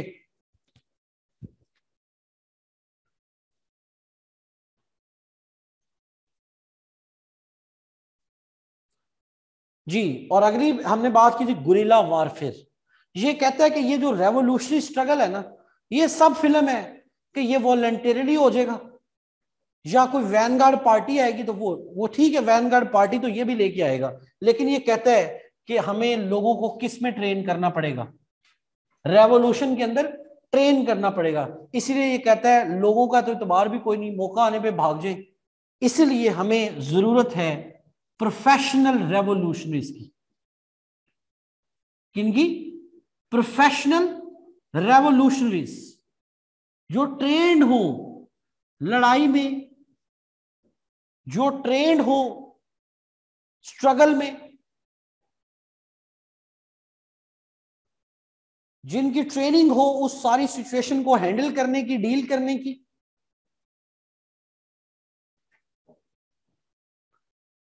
और जिनके अंदर कैपेबिलिटी हो कि वो गुरीला वारफेयर यानी कि कत्लो गारत मार कुटाई अगर लड़ना पड़ जाए, गन चलानी पड़ जाए, वो भी उसने कहा ना कि पॉलिटिकल पावर जो है, वो stems out of the barrel of gun तो इसलिए जो वेपनाइजेशन है, बंदूक का इस्तेमाल है स्टेट वो बड़ी लॉजिक देता है। बड़ी कमाल की लॉजिक देता है। कैसे? अभी थोड़ी देर पहले लेनिन ने क्या कहा था कि स्टेट क्या होती है? फोर्स और वायलेंस का हसीन इम्तजाज है। वो क्या है? म्यार और मकदार का हसीन इम्तजाज। तो वो कहता है, जब आप इनके खिलाफ लड़ोगे तो वो तो आपको मारेंगे। तो उसको इक्वेट करने के लिए आपके पास terror of balance balance of terror करना पड़ेगा ना, कि जितना ये आपको डरा सकते हैं, आप भी इनको, जितना वो आपको मार सकते हैं, आप भी उनको मार सकते हैं। तो फिर मुकाबला होगा ना, फिर रेवोल्यूशन अपना स्ट्रगल होगी। डाइटस कायम रहेगी। तो इसीलिए वो कहते हैं कि ये जो गुरेला वारफेयर है, ये this is one of the most important strategies of Mao जिनको पढ़ा जाता है, समझा जाता है और उनको अप्रिशिएट किया जाता है। गोरीला वारफेयर अच्छा आसिफ तुफैल साहब, जो टीएलपी है ना, या जो भी है, वो माओइज्म नहीं है, ठीक है? वो एक और सिचुएशन है। ये अच्छा बी एल ए भी रहने दो ਤੁਸੀਂ ਇਸ ਟਾਈਮ ਮਾਓ ਪੜੋ ਠੀਕ ਹੈ ਅੱਗੇ ਰਹਿਣ ਦਿਓ ਤੁਸੀਂ ਗੱਲ एनीवेज ठीक है पहले हालात सेंसिटिव हुए हुए ठीक है जी तो ये गुरीला वारफेयर जो है ये एक सबूत है कि जो माओ साहब है जी अनिला यूएसएसआर का कॉन्स्टिट्यूशन जो है वो तो आज हमारी क्लास का एजेंडा नहीं है ठीक है लेकिन ये अगर आपने कर लिया तो समझेंगे आपने जाके आप पढ़ेंगे तो आपको खुद से भी आप कर सकते हैं अच्छा क्या बात में करने लगा था भला नहीं नहीं नहीं, उसके आगे। कौन सा?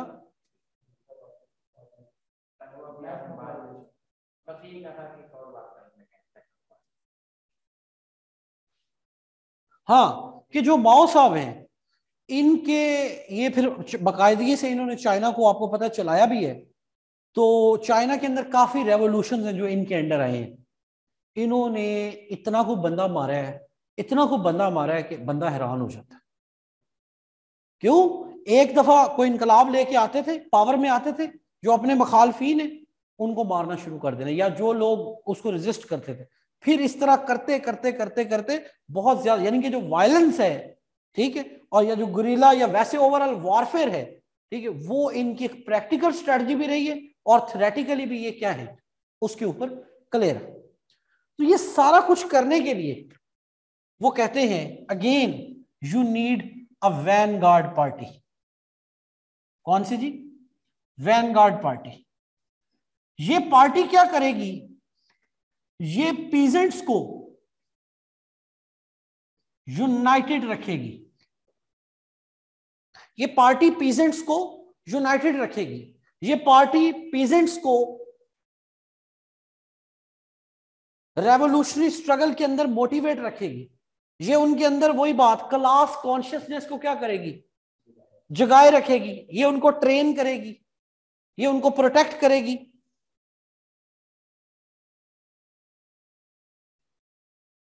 ये उनके दरमियान कोऑर्डिनेशन क्रिएट करवाएगी।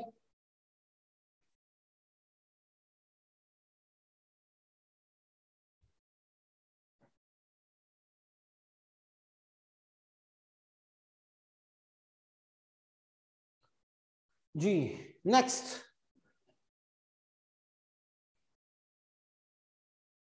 और अगेन ये जो वैनगार्ड पार्टी है, इसके अंदर भी डेमोक्रेटिक सेंट्रलिज्म होगी।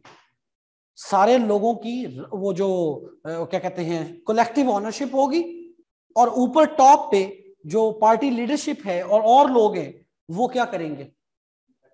वो इंटेलेक्चुअल लोग होंगे और वो उस सारी चीज़ को ऑर्गेनाइज भी कर रहे होंगे मैनेज भी कर रहे होंगे और लोगों को थ्रेटिकल और इंटेलेक्चुअल जो गाइडेंस है वो भी क्या कर रहे होंगे प्रोवाइड कर रहे होंगे। जी, ये एक और कॉन्सेप्ट लिख लें। मैस लाइन माओ कहते हैं कि ये मैस लाइन जो है ये क्रिएट की जाएगी, बजाय कि कोई सेंट्रल हुकूमत हो जो काम करे, ठीक है? जो एरियाज़ हैं लोकल एरियाज़ हैं, वहाँ पर क्या क्रिएट किए जाएँगे?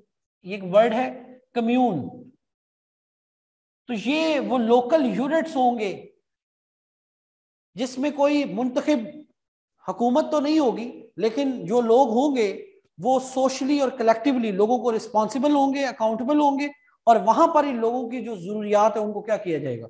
पूरा किया जाएगा। और ये जो मैस लाइंस हैं, ये ऊपर सेंटर में आके तो मेन जो आपकी पार्टी है या आपकी जो सेंट्रल लेवल पर ऑर्गेनाइजेशन है, उसके साथ क्या होंगी? जुड़ी हुई होंगी अटैच होंगी।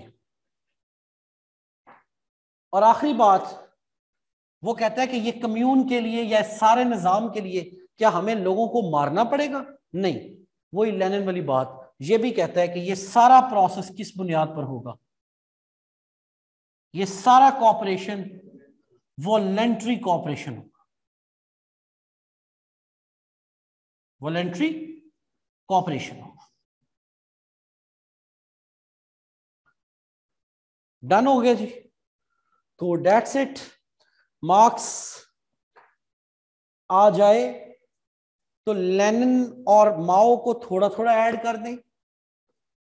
लेनिन आ जाए तो मार्क्स से स्टार्ट लें और एंड पे थोड़ा सा माओ भी ऐड कर दें। अगर लेनिन और मार्क्स दोनों इकट्ठे आ जाएँ तो अब आप इस पोजीशन में हैं कि आप दोनों के दरमियान कुछ सिमिलर पॉइंट्स भी लिख सकते हैं और कुछ डिसिमिलर पॉइंट्स भी लिख सकते हैं। जी। जी, बिल्कुल बिल्कुल।